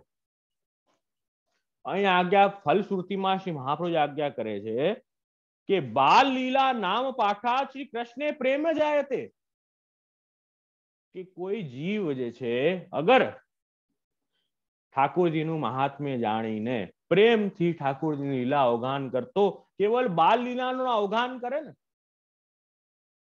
શ્રદ્ધા વિશુદ્ધ બુદ્ધિર્ય પઠત્ય મનુજમ જના. શ્રદ્ધા રાખીને વિશુદ્ધ બુદ્ધિ સારી રીતે નામનો અર્થ જાણીને પઠત્યમ અનુનિદમ, અનુદિનમ જના. આનંદથી રોજ નિત્ય જેનું પાઠ કરે, ઠાકોરજીની લીલાઓનું ગુણગાન શ્રવણ કરે, તો એને શું થાય? કૃષ્ણે પ્રેમ જાયત. એને તો કૃષ્ણમાં પ્રેમ થઈ જશે પાકી વાત છે. એમ અહીં આજ્ઞા કરે છે. અને પ્રૌઢ લીલા જે છે ઠાકોરજીની, એમ થોડા ઠાકોરજી મોટા થયા, એ ઠાકોરજીની પ્રૌઢ લીલા જે છે થોડીક વ્રજ લીલા થોડીક મથરા લીલા પ્રૌઢ લીલામાં. તો થોડીક દ્વારકા લીલા પણ છે. તો એ પ્રૌઢ લીલાનું જે પ્રેમથી અર્થ જ્ઞાન કરીને, શબ્દાર્થ કરીને જે પાઠ કરે આસક્તિ પ્રૌઢ લીલાયા નામ પાઠા ભવિષ્યતિ પ્રૌઢ લીલા નામ પાઠ કરવાથી આસક્તિ સિદ્ધ થઈ આગળ કહી રહ્યા છે, વ્યસનમ કૃષ્ણ ચરણે રાજલીલા વિધાનત। અને રાજલીલાનું પાઠ કરવાથી વ્યસનમ કૃષ્ણ ચરણે ઠાકુરજીના ચરણારવિંદમાં એ વ્યસન સિદ્ધ થઈ જશે। તો આવી રીતે તસ્માદ નામ ત્રયમ જાપ્યમ તો આ ત્રણેય પ્રકારની ઠાકોરજીની લીલાઓનું જે જાપ કરશે ને, જે જીવ એને શું થશે? ભક્તિ પ્રાપ્તિ શુભી સદા. એને આનંદથી, પ્રેમ આસક્તિ વ્યસન દશા સિદ્ધ થઈ જશે. એ મહાપ્રભુજી કે છે, આ પાકી વાત છે. જે ઠાકુરજીના ગુણોનું, ઠાકોરજીની લીલાઓનું, ઠાકુરજીના ભક્તોનું પ્રેમપૂર્વક અર્થ સાથે એ જે સંગ કરશે, એને જે છે આનંદથી વ્યસન દશા પ્રાપ્ત થશે એ આ દસમા સ્કંદનું મહાત્મ્ય છે. એ આ ત્રિવિધ નામાવલીનું મહાત્મ્ય છે. અને કે ગેરંટી મહાપ્રભુ આ થશે જ. તમે કરો તો સહી. આ થશે જ. એમ શ્રી વલ્લભ આજ્ઞા કરે છે. તો આ પુરુષોત્તમ સહસ્ત્રનામમાં તમને બતાવ્યો શું ભેદ છે? ત્રિવિધ નામાવલી બંનેમાં શું ડિફરન્સ છે? આ દસમો સ્કંદ વિશેષ વિશેષ છે. એટલે શ્રી મહાપ્રભુજી આ વિશેષ નામો પ્રગટ કર્યા.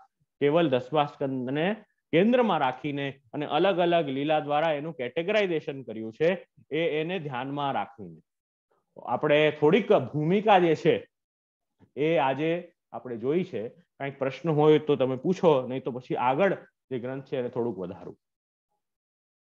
બહુ બધી વાતો મોટી મોટી આપણે ડિસ્કસ કરી છે એટલે તમને કઈ પૂછવું હોય તો પૂછજો, એમ કઈ શાંત બેસવાની જરૂર નથી. દસમી લીલા ડિસ્કસ કરી. હા, પૂછો.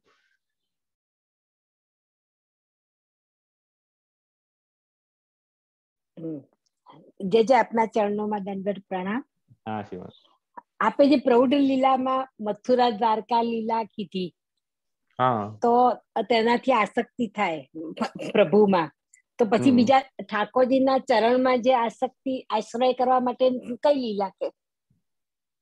ના એટલે કહેવાનું તાત્પર્ય છે કે આ જે બધી લીલાઓ જે છે એનો સતત સંગ કરવાથી ઠાકુરજીમાં પ્રેમ આસક્તિ ને વ્યસન સિદ્ધ થશે.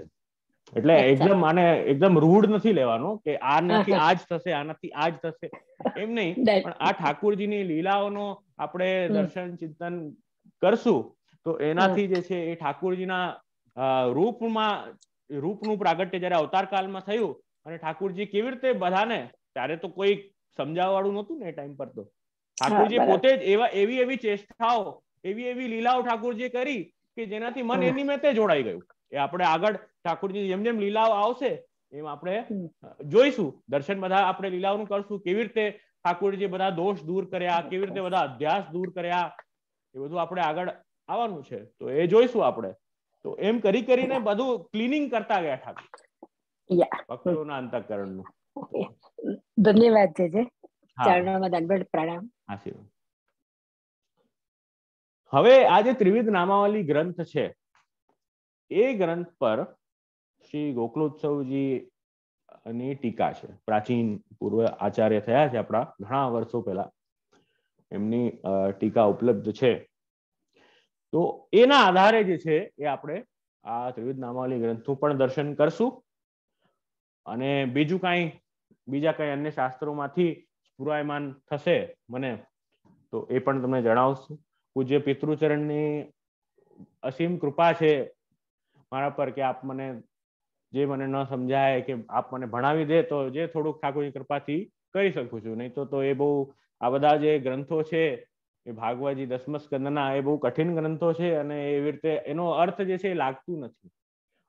મોટા મોટા જે અન્ય માર્ગના જે વિદ્વાન હોય ને, એ ઘણીવાર કહેતા હોય કે એ દસમ સ્કંદ સુબોધની જ નહીં લગતા હે પढ़ તો લેતે પણ મોટાઓની કૃપા અને કહેવાનું તાત્પર્ય એ છે કે જે જે ગ્રંથ જે છે એ મોટા મોટા વિદ્વાન ન લગાડી શકતા હોય ને, પણ મહાપ્રભુજી ગુસાઈનજી અને વલ્લભકુલના ઘરના જે સેવકો હોય ને, એ બેઠા બેઠા એ ગ્રંથો લગાડી લેતા એ ઠાકુરજી ને વલ્લભકુલની કૃપા.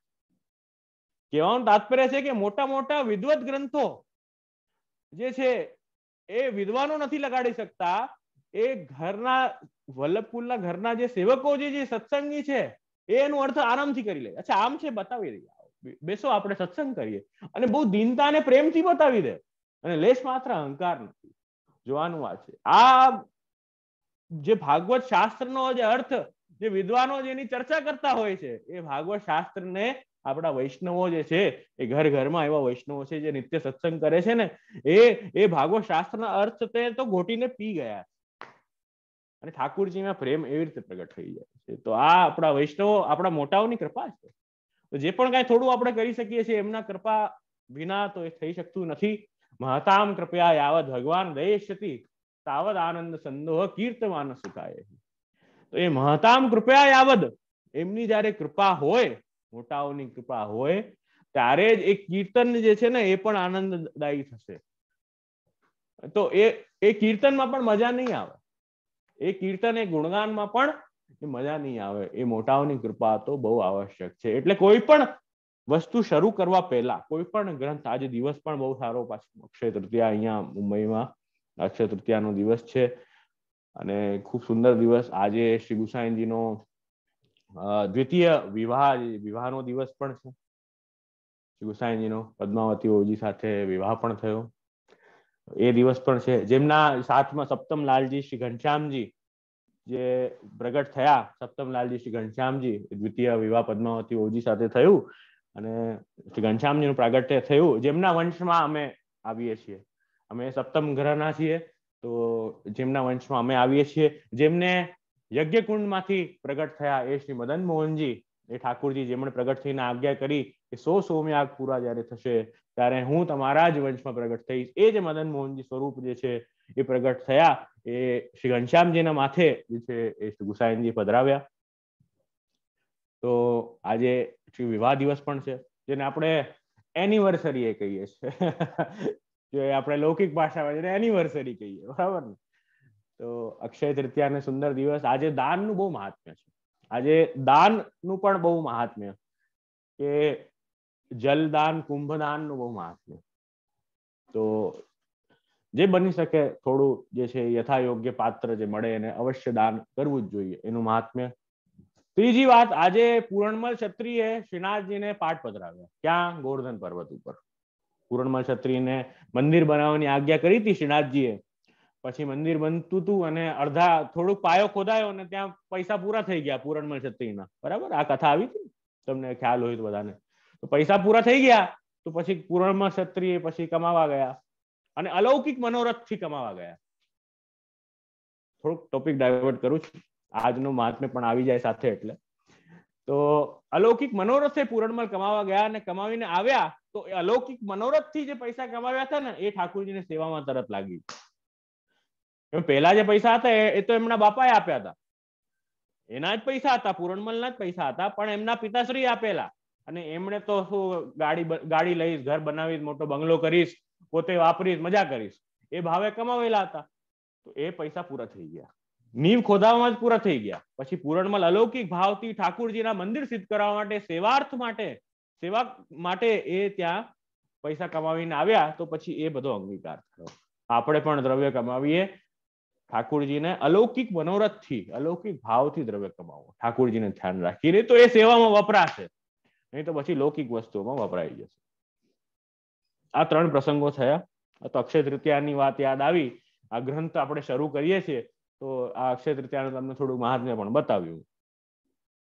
હવે પહેલો મંગલાચરણ, એટલે મંગલાચરણ કરે. કે નિર્વિઘ્ન જે છે, આ આપણો ગ્રંથ પૂરો થાય.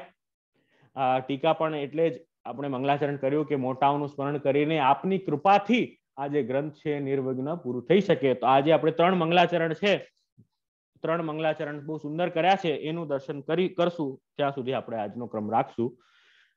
પ્રથમ જે શ્લોક છે, એમાં શ્રી ગોકુલોત્સવજી સુંદર મંગલાચરણ કરીને આજ્ઞા કરે છે, નમામી શ્રીમદ આચાર્ય પદામ, પદાબ્જમ તન મહાશયમ ઉશરમ સરસી કૃત્ય સુરભીકૃત વત્સ્વયમ હવે અહીં કહી રહ્યા છે, બહુ સુંદર વાત કરે છે કે નમામી શ્રી આચાર્ય પદાબ્જમ તન મહાશય. કે શ્રી વલ્લભની મહિમા તો બહુ મહાન છે. એમ શ્રી મહાપ્રભુજીને વંદન કરી રહ્યા છે કે એમની કૃપા વગર બીજું કાંઈ આ ગ્રંથ તો શક્ય જ નથી. આપ કૃપા કરશે તો જ જઈને આનો અર્થ પણ પુરાયમાન થશે. એવું છે. તો ઘણી વાર છે ને વાંચ્યું બહુ હોય, બહુ બધું કહેવાનું હોય, મને પણ મારા સાથે થાય એવું, બહુ બધું કહેવાનું હોય, બહુ બધી ઈચ્છા હોય કે ના, આ શેર કરીશ, તમારા સાથે આ શેર કરીશ. પછી જયારે બોલવા બેસીએ ને, ત્યારે એક એક વસ્તુ એ ગાયબ થઈ જાય. એ યાદ આવી જોઈએ ને, એ ટાઈમે યાદ ના આવે. એ સમય પછી કે અરે આ રહી ગઈ કહેવાની, પછી યાદ અરે આ તો રહી ગઈ કહેવાની. એવું થાય. ઘણી વાર થાય એવું. તો શિવ જે જે કૃપા જયારે હોય ને, તો જ બધું નીકળી શકે એવું છે. તો અહીંયા એ જ કહી રહ્યા છે, નમામી શ્રીમદ આચાર્ય પદાવજમ તન મહાશય. એ વલ્લભાધીશની મહિમા મહાન છે, એ અપાર મહિમા છે. કેવી મહિમા છે? ઉષરમ સરસી કૃત્યમ. ઉષરમ સરસી કૃત્ય છે. ઉષર એટલે બંજર ભૂમિ. બંજર ભૂમિ હિન્દીમાં કહીએ છીએ ને કે જ્યાં કાંઈ ઉગી ન શકે. કાંઈ ઉગી શકતું નથી એવી લેન્ડ પડી છે. એવી લેન્ડ છે એ બંજર ભૂમિને પણ સુંદર સુગંધિત એમાં વૃક્ષો પુષ્પ લતાઓ પ્રગટ થાય, સરસ સરોવર ત્યાં બની જાય. એવા કૃપાળુ છે કે બંજર ભૂમિમાં પણ જે છે, એ શ્રી વલ્લભ જે છે, એને પણ હરી લીલી રમતી, છલાછલ લીલી રમતી જમીન કરી દે. એવી કૃપા જે છે, એ શ્રી મહાપ્રભુજીની છે. ઉષરમ સરસી કૃત્ય સુરભીકૃત બત્સ્વયગ અહીં એ કહી રહ્યા છે કે નિષ્ફળ એવી જમીન કે જે જીવોને મહાપ્રભુજી શરણે લે છે, એને આ સફળતા પ્રાપ્ત થાય છે. આ પ્રથમ મંગલાચરણમાં શ્રી ગોકુલોત્સવજી આજ્ઞા કરે છે કે મીઠા જલ, મીઠું જલ, બંજર જમીનમાં તો એક બુંદ, એક ટીપું પાણી ન નીકળે પણ એ જમીન કેવી થઈ જાય કે મીઠું જલ એમાંથી નીકળે? સરોવર સમાન અને સુગંધિત ભાવથી બધા રસથી સંપન્ન એ જમીન થઈ જાય. અને એનું મતલબ શું? કે જે બંજર ભૂમિ, જેમાં કોઈ લાયકાત નથી ને જે ભૂમિમાં, એ પણ બહુ સરસ કામ કરવા યુઝફુલ ભૂમિ થઈ જાય. જે સરસ પુષ્પ, ફલો, સુંદર ઔષધિઓ પ્રાપ્ત કરાવે, એવી એ ભૂમિ થઈ જાય. એવી રીતે જ આપણામાં પણ કોઈ લાયકાત નથી ઠાકુરજીને પ્રાપ્ત કરવાની, પણ શ્રી મહાપ્રભુજીની કૃપા જયારે થશે, ત્યારે આપણું આ જે બંજર હૃદય છે ને, બંજર હૃદય જેમાં પ્રેમનું છાંટો માત્ર નથી, કોના માટે નથી? ઠાકુરજી માટે પ્રેમ પ્રગટ નથી થયો ને હજી. પ્રેમ પ્રગટ નથી થયો, સંસારમાં બહુ પ્રેમ છે. સંસાર માટે તો આપણે એટલા અટેચ છીએ કે આપણા જે સર્કલ આપણે જે આપણો ગોઠવ્યો છે ને, કયો સર્કલ આપણા અટેચમેન્ટનો જે સર્કલ ગોઠવ્યો છે, એમાં કાંઈક ઓગણીસ કે વીસ થાય તો બહુ ઊંચા નીચા થઈ જઈએ. બહુ ઊંચા નીચા થઈ જઈએ. પણ ઠાકુરજી સંબંધિત કોઈ વસ્તુ હોય તો એમ કે, હા, ચાલશે ને બે સામગ્રી ઓછી આવી, ચાલશે ને, ઉત્સવ છે, આવતી વખતે કરશું ને, ચાલશે. ચંદન અક્ષય તૃતીયા છે તો ઠાકુરજીને નથી ઘસ્યું ને, કાંઈ નહીં પાવડરથી આપણે આમાં મળાવીને ધરાવી દઈશું ને, ચાલશે ને. આ પ્રકારનું એક વૃત્તિ રહેતી હોય છે. તો હજી કહેવાનો તાત્પર્ય છે કે હજી દ્રઢતા નથી, પ્રેમ નથી સિદ્ધ થયો. તો શ્રી વલ્લભની કૃપાથી શું થશે? ઉશરમ સરસી કૃત્ય એ જે ભૂમિ જે છે ને, એ બંજર ભૂમિ જે છે ને, એને સરસ લહેલહાતી એમાં જે વૃક્ષો જે છે, સુંદર વૃક્ષો, સુંદર ઔષધિઓ, પુષ્પો, ફલો, સરોવર ત્યાં બની જશે. એ ભૂમિમાં એ શ્રી કૃપાથી થશે. એવા વૈશ, એવા વશી વલ્લભને નમામી હું નમન કરું છું. આ પ્રથમ મંગલાચરણ આ સુંદર કર્યું. દ્વિતીય મંગલાચરણ આજ્ઞા કરી રહ્યા છે. કયો મંગલાચરણ છે? ભાવયે સતતમ. હવે શ્રી ગુસાઈની માટે મંગલાચરણ કરી રહ્યા છે. શું મંગળાચરણ છે. ભાવયે સતતમ શ્રીમદ વિઠ્ઠલેશ મુજબ. યેન સ્વકરુણાસારૈ સિંચિતમ હૃદયમ મમ. આજ્ઞા કરે છે. શું આજ્ઞા કરે છે? ભાવયે સતતમ શ્રી વિઠ્ઠલેશ પદામ્બુજમ શ્રી વિઠ્ઠલેશના પદાંબુજ જે છે, એ બહુ સુંદર છે. અને એનું ભાવયે સતતમ, સતત જેનું સ્મરણ ચિંતન કરીએ છીએ. એ કેવા ચરણ ચરણ કમલ છે કે યેન સ્વકરુણા સારૈહી સિંચિતમ હૃદયમ મમ. પોતાની કરુણાથી જેમણે મારું હૃદય જે છે એ સિંચિત કર્યું છે. એનું મતલબ શું થાય? કે કરુણા કરુણા એટલે કૃપા. કરુણા એટલે કૃપા, દયા. જેમને પોતાની દયા દ્રષ્ટિથી જે છે દયા દ્રષ્ટિની બિંદુઓથી જે રીતે જે જમીન પર કાંઈ ન ઉગતું હોય, પણ જ્યારે વર્ષા થાય ને, તો એની મેતે જે છે, એ વૃક્ષો, પાંદડાઓ, પૌધાઓ ફૂટવા લાગી જાય.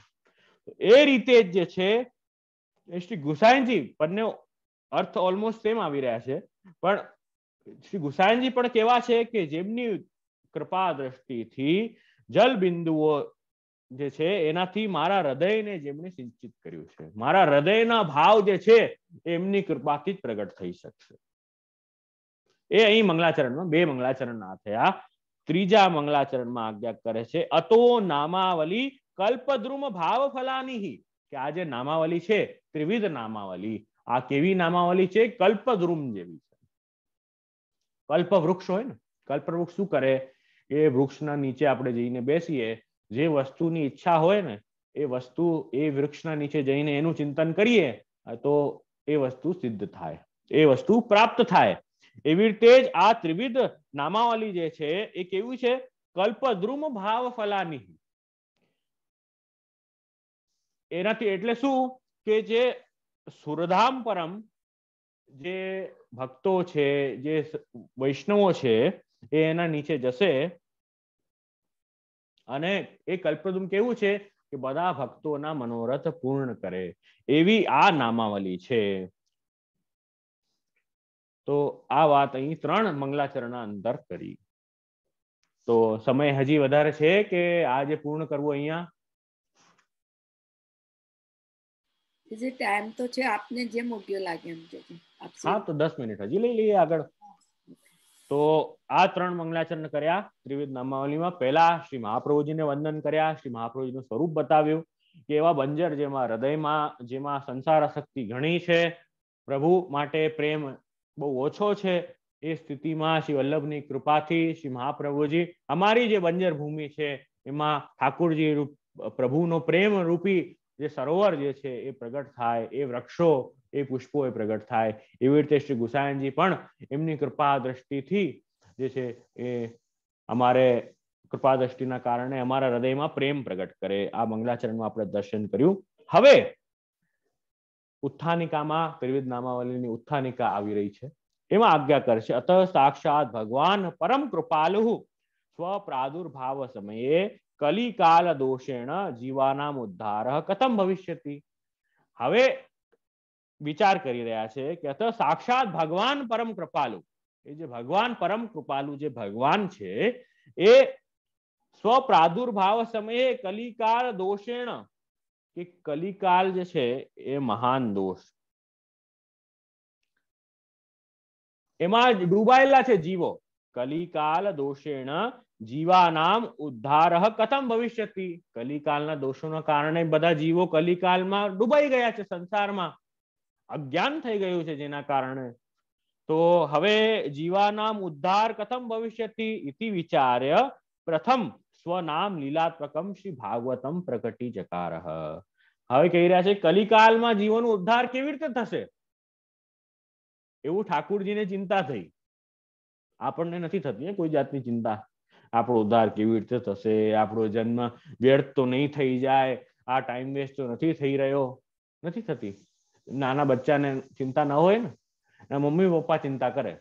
નાના બચ્ચાને તો સ્કૂલથી આવ્યો, આ બેગ કાઢી ને ફેંકી. પછી બેગ ક્યાં, એ છોકરો ક્યાં, એની બુક્સ ક્યાં? મમ્મી પાછળ પાછળ ફરતી રહે, બેટા ખાઈ લે, બેટા જમી લે, બરાબર? આપણે એવા છીએ. કાંઈ પડી નથી. આપણું આ જીવન વેસ્ટ થવાનું છે, આપણે સેટ થશું નહીં થઈએ. શું કરશું જિંદગીમાં? એ સ્થિતિમાં આપણે પડેલા છીએ. પણ ચિંતા કોને છે? ભગવાનને છે. અહીંયા આગળ કરે છે, અત સાક્ષાત ભગવાન પરમ કૃપાલુ. એ પરમ કૃપાલુ ભગવાન છે. સ્વ પ્રાદુર્ભાવ સમયે, પોતાના પ્રાગટ્યના સમયે કલિકાલ દોષેણ, કલિકાલના દોષના કારણે જીવાનામ ઉદ્ધાર કથમ ભવિષ્યતિ. હવે જીવોનો ઉદ્ધાર કેવી રીતે થશે? એ ચિંતા એ ભગવાનને. ભગવાનને, આપણા માતા પિતા પતિ તો એ છે ને. ચિંતા એમને થઈ રહી છે કે આ જીવ તો જો સવારથી રાત સુધી ને રાતથી સવાર સુધી જાણે શું કર્યા કરે છે. સત્સંગમાં જવાનું કે જો ટાઈમ નથી. દર્શન કરવા જઈએ તો ટાઈમ નથી. સેવા કરવાનું કે તો ટાઈમ ભાઈ, આટલું ટાઈમ કે શું કરે જ શું? ઓલી એક કહાવત નથી આવતી કે પાયની પેદાશ નહીં ને ઘડીની નવરાશ નહીં. એ સ્થિતિ, એ સ્થિતિમાં જીવ છે અત્યારે. પેદાશ ભગવત નામ ભગવત દર્શન ભગવત સ્મરણ ભગવત ચિંતન અગર તમારા જીવનમાં નથી, તો તમારું પાઈની પેદાશ નથી. અને ઘડીની નવરાશ નહીં, એટલે સ્માર્ટ માણસ હોય ને, એવો બિઝનેસ ન કરે. બરાબર ને? આપણે તો કેટલા સ્માર્ટ છીએ. બધું જાણીએ, સમજીએ છીએ. આપણે એવો કામ કરીએ, કોઈ દિવસ લોસ નો ધંધો કરાય આગળ? ન કરાય. એવી રીતે આપણા જીવનમાં જે વસ્તુ કરવાથી વધારે લોસ થતો હોય, એવી બધી પ્રવૃત્તિઓ બંધ કરી દેવી. જેમાં પાયની પેદાશ ન થતી હોય અને વધારે ટાઈમ વેસ્ટ થતો હોય, એવું બંધ કરી દેવું. બસ, સમજદાર કોઈ ઈશારા કાફી તો એ વાત છે. એટલે ભગવાને શું કર્યું? જીવાનામ ઉદ્ધાર કથમ ભવિષ્યથી કે એ કલિકાલ દોષેણ કલિકાલના દોષના કારણે જીવાના ઉદ્ધાર કથમ ભવિષ્યથી ઇતિ વિચાર્ય પ્રથમ સ્વનામ લીલાત્મકમ શ્રી ભાગવતમ પ્રકટી ચકાર એટલે પોતાની લીલાવાળી, કઈ લીલાવાળી? દશવિધ લીલાવાળી. દસ લીલા તમને જે સમજાય સર્ગ વિસર્ગ સ્થાન પોષણ ઉતિ મનવંતર ઈશાનું કથા નિરોધ મુક્તિ ને આશ્રય એ દસ લીલા તમને જે હમણાં સમજાવી, થોડી ઘણી આપણે ઉપર ઉપરથી જોઈ, એ પ્રગટ કરી. એ શ્રીમદ ભાગવત પ્રગટી ચકાર આગળ કહી રહ્યા છે, તતઃ કલી દોષે સંપૂર્ણ શ્રી ભાગવતસ્યાપી શ્રવણ પઠનયોર અશક્યત્વાદ સ્વકીયેશુ કરુણાયા મહાકારુણિકા શ્રી ભાગવત શ્રીમદ આચાર્ય શ્રી ભાગવત ઉદ્ધૃત્ય સારભૂતાની સહસ્ત્ર નામાની પ્રકટી ગ્રંથ. હવે અહીં કહી રહ્યા છે કે હવે આખું ભાગવત બનાવી દીધું. હવે ઠાકુરજીને ખબર છે કે આ જીવ પાસે ટાઈમ નથી. ભગવાનને ખબર છે, બોલો. ભગવાનને એવું એવું કોઈ પણ વસ્તુ છે છુપાયેલી કે ભગવાનને ન ખબર હોય? ઠાકુરજીને ખબર છે, જો હું ભાગવત આપીશ ને જીવને, એ શું કહેશે? ટાઈમ નથી. હમણાં હમણાં ભાગવતનું નહીં, હમણાં ટાઈમ નથી, અમારે બહાર જવાનું છે. અમારે ઓફિસે જવાનું છે, અમારે હોબી ક્લાસમાં જવાનું છે ટ્યુશનમાં જવાનું, બચ્ચાઓને કહીએ ને કે પાઠશાળામાં મોકલા કરો. તો સૌથી પહેલા તો છોકરો હા કે ના પાડે એના પહેલા તો એના મા બાપ આવી જાય આગળ. ના ના, હમણાં ટાઈમ નહીં, હા. હમણાં ટાઈમ નહીં. હમણાં તો હોબી ક્લાસમાં જશે, પછી એના ટ્યુશનમાં જશે, પછી સ્કૂલ જશે, પછી હોમવર્ક કરશે, પછી એનું જે ટાઈમ ટેબલ એ બધું બતાવી દે. આખા અઠવાડિયામાં છે ને અડધો કલાક નહીં કાઢી આપે. મા બાપનું જ એટીટ્યુડ એવું રહે તો પછી છોકરો જયારે પચીસ વર્ષ થાય ને ત્યારે અમારો છોકરો તો છે ને આવતું નથી એવામાં એને છે ને ઇન્ટરેસ્ટ જ નથી. અરે તમે જ નથી નાખ્યો ઇન્ટરેસ્ટ એને. એ છોકરાને ઇન્ટરેસ્ટની વાત તમે જ ઇન્ટરેસ્ટ નથી આપ્યો એને. નાનપણથી તો તેને તમે આવીને આવીને ડિફેન્ડ કર્યો. ગુરુના સન્મુખ નથી કર્યો. પાઠશાળામાં મોકલ્યો નથી. પછી કે, તમે ઇન્ટરેસ્ટ નથી. ઇન્ટરેસ્ટ નહીં જોયે ને, તો જે વસ્તુનો તમે એને પાછળ પડીને જ્યાં લગાડ્યો, તમે ત્યાં જ ઇન્ટરેસ્ટ આવશે ને. તો એ તો વાત એવી જ છે. તો આ તો કથા ગાંતા કઈ લાંબી કથા છે. પણ કહેવાનો તાત્પર્ય છે કે હવે આ આખું જયારે ભાગવત પ્રકટ કર્યું ઠાકુરજીએ, તો હવે ભાગવત જે ઠાકુરજીને ખબર છે, હવે કલિકાલના દોષને કારણે સંપૂર્ણ શ્રી ભાગવત આપી, સંપૂર્ણ જે શ્રી ભાગવત છે, એ શ્રવણ પઠનયોર અશક્યત્વાદ. એ શ્રવણ કરવાનું અને ભણવાનું એ અશક્ય થઈ ગયું છે. એટલે શ્રી આજકાલ ભાગવતજી તો નિત્ય પઠન પાઠન કરવું હોય ને, નિત્ય કરવું જોઈએ. કે જેટલું થાય એટલું, એક અધ્યાય તો એક અધ્યાય, એક સ્કંદ તો એક સ્કંદ, એક શ્લોક તો એક શ્લોક, નિત્ય કરવું જોઈએ. પણ નથી થતું. નથી થતું એટલે શું કહી રહ્યા છે? એટલે શું કર્યું શ્રીમદ આચાર્ય? શ્રી ભાગવતાદ ઉદ્ધૃત્ય સારભૂતાની ભૂતાની સહસ્ત્રનામાની પ્રકટી પ્રકટીકરવંત પ્રકટીકવંત. એટલે સહસ્ત્ર નામ જે છે એ પ્રકટ કર્યા. પુરુષોત્તમ સહસ્ત્ર નામ એ પ્રગટ કર્યા. યત પઠને સંપૂર્ણ શ્રી ભાગવતાર્થ જ્ઞાન ભવતી. જેને વાંચવાથી આખા ભાગવતનું જ્ઞાન થઈ જાય એવું આ ગ્રંથ બનાવ્યું. અને તદુક્તમ સહસ્ત્રમ યસ્તુ પઠિતૈ પઠિતમ સાચુકામૃતમ તો પુરુષોત્તમ સહસ્ત્ર નામનું પાઠ કરવું ઇઝ ઇક્વિવેલન્ટ ટુ સંપૂર્ણ ભાગવતનો પાઠ કરી લેવું.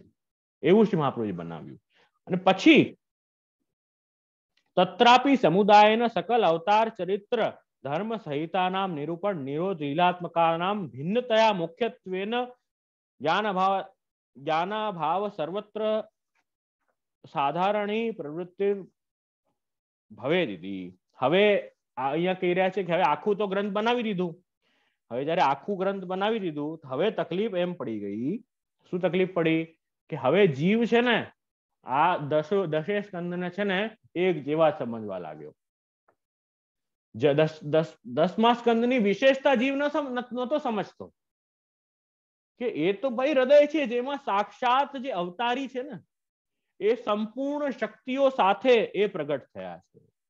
એટલે શ્રી મહાપ્રભુજીએ શું કર્યું? ત્રિવિધ ભક્ત નિરોધાર્થમ, ત્રિવિધાયા લીલા કૃતા તદા, તદાત્મકાની, યાની નામાની તાની તથા અપી ઉદ્ધૃત્ય નિરૂપિવંત હવે એટલે મહાપ્રભુજીએ શું કર્યું? ત્રિવિધ ભક્તો માટે, સાત્વિક, રાજસ, તામસ એ જે ભક્તો છે, એમના માટે ત્રણ પ્રકારની લીલા જે છે બાલ લીલા પ્રૌઢ લીલા અને રાજલીલા, એ ત્રણ પ્રકારની લીલા શ્રી મહાપ્રભુજી પ્રગટ કરી. જેનાથી એ સાધારણી પ્રવૃત્તિ કે બાર સ્કંદના જેવી રીતે નામ છે, એમાં દસમા નામ છે. એ પ્રકારની ભાવના ન આવે. આ વિશેષ દસમો સ્કંદ તો આપણા પુષ્ટિ માર્ગી માટે વિશેષ છે, કેમ કે ભગવાને પોતે સર્વશક્તિઓ સાથે પ્રાદુર્ભૂતો અસ્તિ ગોકુલે.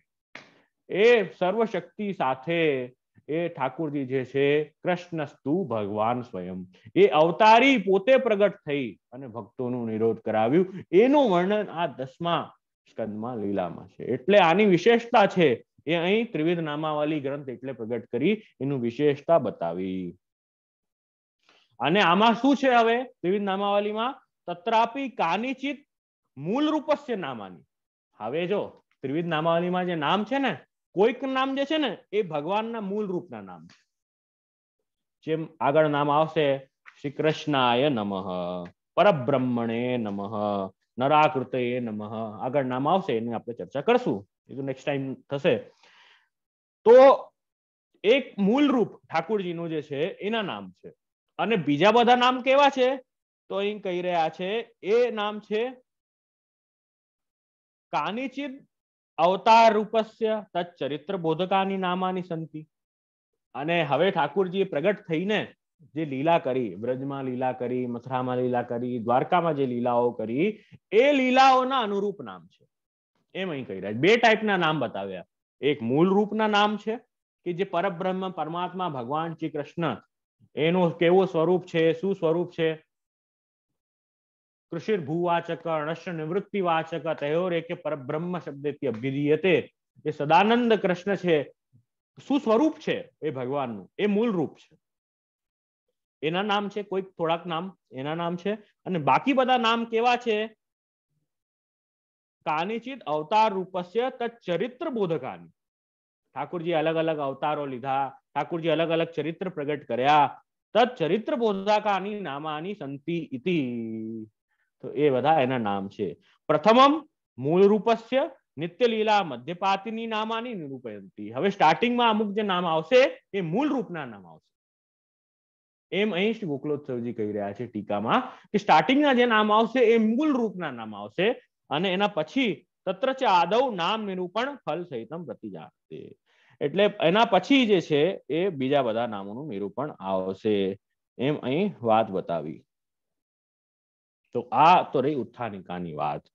નામાવલીમ પ્રવક્ષ્યામી કેશવા, કેશવ નામાવલી હવે હવે આગળ બતાવશે કે નામાવલીમ પ્રવક્ષ્યામી. અને એ નામાવલી કેવી છે? કેશવસ્ય અતિવલ્લભામ. ભગવાન કેશવ જે છે, એમને બહુ પ્રિય છે એ નામાવલી. એની હવે વાત કરી રહ્યા છે હવે આગળ જે નામાવલી આવશે ને, એ ભગવાનને ભગવાનને પણ અતિ પ્રિય છે એ નામાવલી. કેમ કે ઠાકોરજીને પોતાનું ચરિત્ર અને પોતાના ચરિત્ર પોતાનું ચરિત્ર આવે એટલે સાથે સાથે જોડાઈને ભક્તનું ચરિત્ર પણ આવી જ જવાનું. ઠાકુરજી જો, એકાકી ન રમણતે સ્વદ્વિતીય મેચ્છત તો પતિશ્ચ પતિશ્ચ દ્વિધા પાતયત. કે ઠાકુરજી એકલા તો લીલા કરી જ ન શકે ને? તો ઠાકુરજી પોતાના પરિકર સાથે પ્રગટ થાય. શ્રી કૃષ્ણ, શ્રી સહિત કૃષ્ણ, શ્રી એટલે સ્વામીજી અને સ્વામીજીનું સમસ્ત પરિકર. એ પરિકર સાથે જે છે એ ઠાકોરજી લીલા કરે છે. તો એકલા તો પ્રગટ જ ન થાય. તો એ સંપૂર્ણ પરિકર સાથે એ લીલા કરે. એ ઠાકુરજીને એ જે લીલા છે ને, કેશવસ્ય લીલા જે છે એ અતિ વલ્લભામ. એ બહુ પ્રિય છે. અને જે આનું યસ્ય, યસ્યાહ સંકીર્તનાદ વિષ્ણુ આત્માનમ સંપ્રયચ્છતિ અહીં આજ્ઞા કરે કે જેમના સંકીર્તન કરવાથી સમ્યક પ્રકારેણ કીર્તનમ. સારી રીતે આનંદથી, એકાગ્ર ચિત્તથી જે આ બધી લીલાઓનું કીર્તન કરે છે, ગુણગાન કરે છે, ચિંતન કરે છે, સ્મરણ કરે છે. એને શું થશે? વિષ્ણુ આત્માનમ સંપ્રયચ્છતિ ભગવાન વિષ્ણુ જે છે, એ આત્માનમ પોતાને સંપ્રેચ્છતી સારી રીતે આપી દે કોને આપી દેશે? જે આનું સમ્યક પ્રકારેના સંકીર્તનમ જે સારી રીતે આનું કીર્તન કરશે એને ભગવાન વિષ્ણુ પોતાના ભક્તને અધીન થઈ જશે, એમ અહીં કહી રહ્યા છે. પોતાને આપી દેશે. જેમ ભક્ત સર્વ સમર્પણ ઠાકુરજીને કરે છે, તો ઠાકુરજી પણ ભક્તાધીન થઈ જાય છે. તો ઠાકુરજી પણ, ઠાકુરજીને પણ એ ભક્ત વગર ચાલતું નથી. એવી રીતે જે ઠાકુરજીની આ ભાગવતની લીલાઓ છે, એનું જે સંકીર્તન કરશે, એને આત્માનમ સંપ્રેક્ષતી સારી રીતે ઠાકુરજી જે છે એના અધીન થઈ જશે. એ એને સ્વરૂપાનંદ દાન કરશે. પોતાના સ્વરૂપમાં રહેલું જે આનંદ છે એનું દાન કરશે. સ્વરૂપાનંદ અને ભજનાનંદનું દાન એ ઠાકુરજી કરશે. એમ અહીં ત્રિવિધ નામાવલીના પ્રથમ શ્લોકમાં આ વર્ણન કર્યું છે. તો આ પ્રથમ શ્લોકનું આપણે જોયું કે આનંદ ઠાકુરજીની લીલાઓનું શું મહાત્મ્ય છે? અને ઠાકુરજીની લીલા કેટલી ગમે છે? કહેવાનું તાત્પર્ય છે, આ વાર્તા જે આવે છે, આનંદદાસ, વિશ્વંભરદાસની વાર્તા જે આવે છે બસો બાવન વૈષ્ણવમાં. તો એ વાર્તામાં તમે જોશો કે બંને ભાઈ રોજ સત્સંગ કરતા. બંને ભાઈ રોજ સત્સંગ કરતા, એક વાંચતા અને એક સાંભળતા. એટલા પ્રેમમાં તરબોળ થઈને આનંદથી એ વાર્તા કહેતા અને બીજા ભાઈ વાર્તા સાંભળતા. તો એટલો આનંદથી જયારે ભગવાન અને ભક્તોની ચર્ચા થતી હતી, તો સાક્ષાત શ્રીનાથજી બાબા જે છે ને, એ વિશ્વંભરદાસની ગોદીમાં બિરાજીને એ કથા સાંભળતા. એ કથાનું મહાત્મ્ય કથાનું ફલ છે. મત ભક્તા યત્ર ગાયંતી, તત્ર તિષ્ઠામી નારદ. મારા ભક્તો મારું જ્યાં ગુણગાન કરે છે, મારું જ્યાં સ્મરણ કરે છે, મારું મને જ્યાં યાદ કરે છે, મારા ચરિત્રનું જે જગ્યાએ ગાન થાય છે તો ઠાકુરજી કહે છે, હે નારદ, તત્ર અહમ તિષ્ઠામી. હું ત્યાં જ મળીશ. તો શ્રીનાથજી બાવા આ ભાઈના ગોદીમાં બિરાજીને સાંભળતા. અને શ્રીનાથજી બાવાને એટલું આનંદ આવતું, કોઈ કોઈક વાર આજે જેમના ગોદીમાં બેઠા હતા ને, શ્રીનાથજી બાવા બિરાજી રહ્યા છે ને, એમના ગોદ, એમને એક ઝોકોય આવી જતો. એક તાનથી સાંભળતા હોઈએ તો એમાં થોડોક ઝોકાય આવી જાય ઊંઘના. ઝોકાય આવી જાય તો હવે એ આનંદાસ જે વાંચતા હતા, કે કથા કહેતા હતા, એટલા આનંદથી કહેતા હતા તો હવે એ સુઈ ગયા જોઈએ તો આખું આખું બ્રેક લાગી જાય ને, તૂટી જાય ને. એમનું જે ફ્લો હોય, બોલવાનું, એ તૂટી જાય, કોઈને સૂતું જોવે સામે સામે. હવે હું અહીંયા બેઠો છું, બધા સૂતા દેખાય મને, તો મને ટેન્શન થાય ને, હું શું બોલું છું? થાય ને એવું? તો ફ્લો તૂટી જાય આખો, બરાબર ને? તો એટલે પછી શ્રીજી બાવાએ હુંકારી આપવાની શરૂ કરી. કે ના, સાંભળે છે સાંભળે છે. હુંકારી આપવાની શરૂ કરી. તો એ ભાઈને, જો બીજો ભાઈ જે વાંચે છે, એને એવું ના લાગે કે સાંભળતો નથી. તો શ્રીનાથજી બાવાને એટલો આનંદ આવી રહ્યો છે. તો શ્રીનાથજી બાવાએ હુકારી આપી. થોડીક વારમાં આ ઉઠ્યા ઊંઘમાંથી. વિશ્વંબર દાસ ઉઠ્યા ઊંઘમાંથી. તો એમણે એમણે એમના ભાઈને કીધું, અરે, રૂકો રૂકો, ક્યાં? આટલું આગળ ક્યાં પહોંચી ગયા? મેં તો અહીં સુધી સાંભળ્યું હતું. થોડુંક પાછું રિપીટ કરો ને, હું સુઈ ગયો હતો. તો ઓલા ભાઈ આનંદદાસ કે અરે, તો પછી કોણ? સાંભળતું કોણ હતું આટલી વારથી? તો ત્યારે શ્રીજી બાવા પણ હસ્યા. અને શ્રીજી બાવાના દર્શન બંનેને થયા. અને ખબર પડી કે જ્યાં સત્સંગ થાય છે, જ્યાં ઠાકુરજીના ગુણગાન થાય છે, એ સ્થાને જે છે ને, એ ઠાકુરજી સ્વયં પધારે છે. અને યસ્યાહ શંકર સંકીર્તનાદ વિષ્ણુ, આત્માનમ સંપ્રેક્ષતી સારી રીતે પોતાને આપી દે છે ઠાકુરજી. એ ભક્તને જે સંકીર્તન કરી રહ્યા છે આ ત્રિવિધ નામાવલીનું મહાત્મ્ય છે, જેનાથી ભક્તને પ્રેમ, આસક્તિ, વ્યસન દશાઓ પ્રાપ્ત થાય છે. તો આપણે પણ બહુ સદભાગ્યવાળા છીએ કે આવો લાભ આપણને પ્રાપ્ત થશે અને નિમિત્ત તમે થયા પણ બોલવાનો અવસર મને પ્રાપ્ત થશે, કીર્તન કરવાનો અવસર મને પ્રાપ્ત થશે કે તમે સાંભળશો અને મને એવો બોલવાનો લાભ પ્રાપ્ત થશે કે ઠાકુરજીની આવી સુંદર નિરોધ લીલા જે ભાગવતજીનું હૃદય છે શ્રીનાથજી બાબુનું હૃદય, કહેવાનો કંઈક અવસર મને પ્રાપ્ત થશે. તો આ બહુ આનંદની વાત છે. થોડીક આપણે ભૂમિકા જોઈ, ભાગવતજીનું મહાત્મ્ય જોયું, શાસ્ત્રોથી દશવિધ લીલાનું મહાત્મ્ય જોયું, અને પછી આપણે આજે આ ગ્રંથ આપણે શરૂ કર્યું. ટીકા, ટીકાના આધારે જ લઈશું. આપણે આડી અવડી કઈ વાત કરવાની જ નથી. જે મોટાઓએ કોમેન્ટ્રીમાં આજ્ઞા કરી છે રો કોમેન્ટ્રી, સંસ્કૃત કોમેન્ટ્રી છે, એ ડાયરેક્ટ આપણે વાંચશું, અને એનો અર્થ જે છે આપણે જાણશું. એમાં જ આનંદ આવશે. મૂળ જે હાર્દ શું છે? આપણા આચાર્યોનું. મહાપ્રભુજીનું શું હાર્દ છે? એ ડાયરેક્ટ હાર્દ આપણને પ્રાપ્ત થશે. એવો આગ્રહ જે છે એ આપણે રાખશું. તો બહુ સુંદર રીતે આનંદથી આ ગ્રંથ પ્રારંભ થયો છે. તો થોડુંક આપણે નિત્ય બેસશું. થોડા થોડા સમય ઇન્ટરવલમાં તો આને સુંદર આપણે ન્યાય આપી અને આગળ વધશું. તો બસ આટલું કહી. આ પ્રથમ શ્લોકના દર્શન આપણે કર્યા છે. હવે નેક્સ્ટ શ્લોકથી તો પછી ઠાકોરજીના મૂળ રૂપના બે નામ, બે ટાઈપના નામ બતાવ્યા હતા ને? એક તો અવતાર લીલા અને ગુણ ઠાકોરજીએ ચરિત્ર જે પ્રગટ કર્યા એના અનુરૂપ નામો છે. અને એક નિત્ય લીલા મધ્યપાતીની જે ઠાકોરજી બિરાજે છે, મૂળ રૂપ ના સ્વરૂપ જે બિરાજે છે, એમના નામ છે. તો સ્ટાર્ટિંગમાં જે નામ છે ને, ત્રણ ચાર નામ, એ મૂળ રૂપના નામ છે. તો એનું આપણે દર્શન કરી અને પછી આમાં તો શું થશે કે ખાલી એકલા નામ તમે નહીં સમજો. આમાં તો ભાગવતજીની કથા થશે સાથે સાથે. ભાગવતજીની કથા થશે પછી તો નામ સમજ પડશે ને. એટલે પહેલા મને જેમ પ્રથમ અધ્યાયનું નામ આવ્યો, તો પહેલા મને પહેલા અધ્યાય, જન્મ પ્રકરણનો પહેલો અધ્યાયમાં, દ્વિતીય અધ્યાયમાં, તૃતીય અધ્યાયમાં શું કથા આવી? કેટલી કથા આવી? એ મને પહેલા સંભળાવી પડશે. એટલે ભાગવત દસમા સ્કંદની કથા જ થવાની છે. કૃષ્ણ ચરિતામૃત જ છે આ, એમ સમજજો. તો એ પ્રથમ અધ્યાયની કથા પહેલા સાંભળશું. શું આવ્યું? કે ક્યાં સુધી આવ્યું? અને પછી શ્રી મહાપ્રભુજીએ એ અધ્યાયમાં કયા કયા નામથી એ ચરિત્ર બતાવ્યું છે? તો આ ક્રમ આપણે રહેશે નેક્સ્ટ ટાઈમથી તો તમારે શું કરવાનું છે? તમારે ત્રિવિધ નામાવલી, જે નામાવલી છે ને એ લઈને સાથે બેસવાનું. જેનાથી, હા, જેનાથી ધ્યાન રહે કે ભાઈ ક્યાં શું ચાલી રહ્યું છે. ખાલી સાંભળવાથી છે ને પછી ઊંઘ આવવાના ચાન્સ અને મન ભટકવાના ચાન્સ વધારે છે. મન ભટકાઈ જાય ને. હવે ખાલી સાંભળતા હો, ઘરમાં શું ચાલે છે આજુબાજુ, એમાં પછી ઇન્ટરેસ્ટ પણ જાગે પછી. તો ભલે કલાક બેસો, પણ એવી રીતે બેસો કે બીજું બધું કામ ભૂલીને બેસીએ. તો એ ફલિત પણ થાય, એ હૃદયારૂઢ થાય સત્સંગ. તો એ આવશ્યક છે. તો બસ આટલું કહી, અને હવે ફરી પાછા આપણે નેક્સ્ટ ટાઈમ જે છે એ મળશું. તો વહેલા મળશું. તો આ ગ્રંથનું આપણે આગળ હજી શરૂઆત કરશું. પ્રથમ નામ શ્રી કૃષ્ણાય નમથી ઠાકોરજીનો સ્વરૂપનું, મૂળ રૂપનું નામ કૃષ્ણ નામ જે છે એનું આપણે દર્શન ચિંતન નેક્સ્ટ સેશનથી કરશું આટલું કહીને વિરામ લઉં છું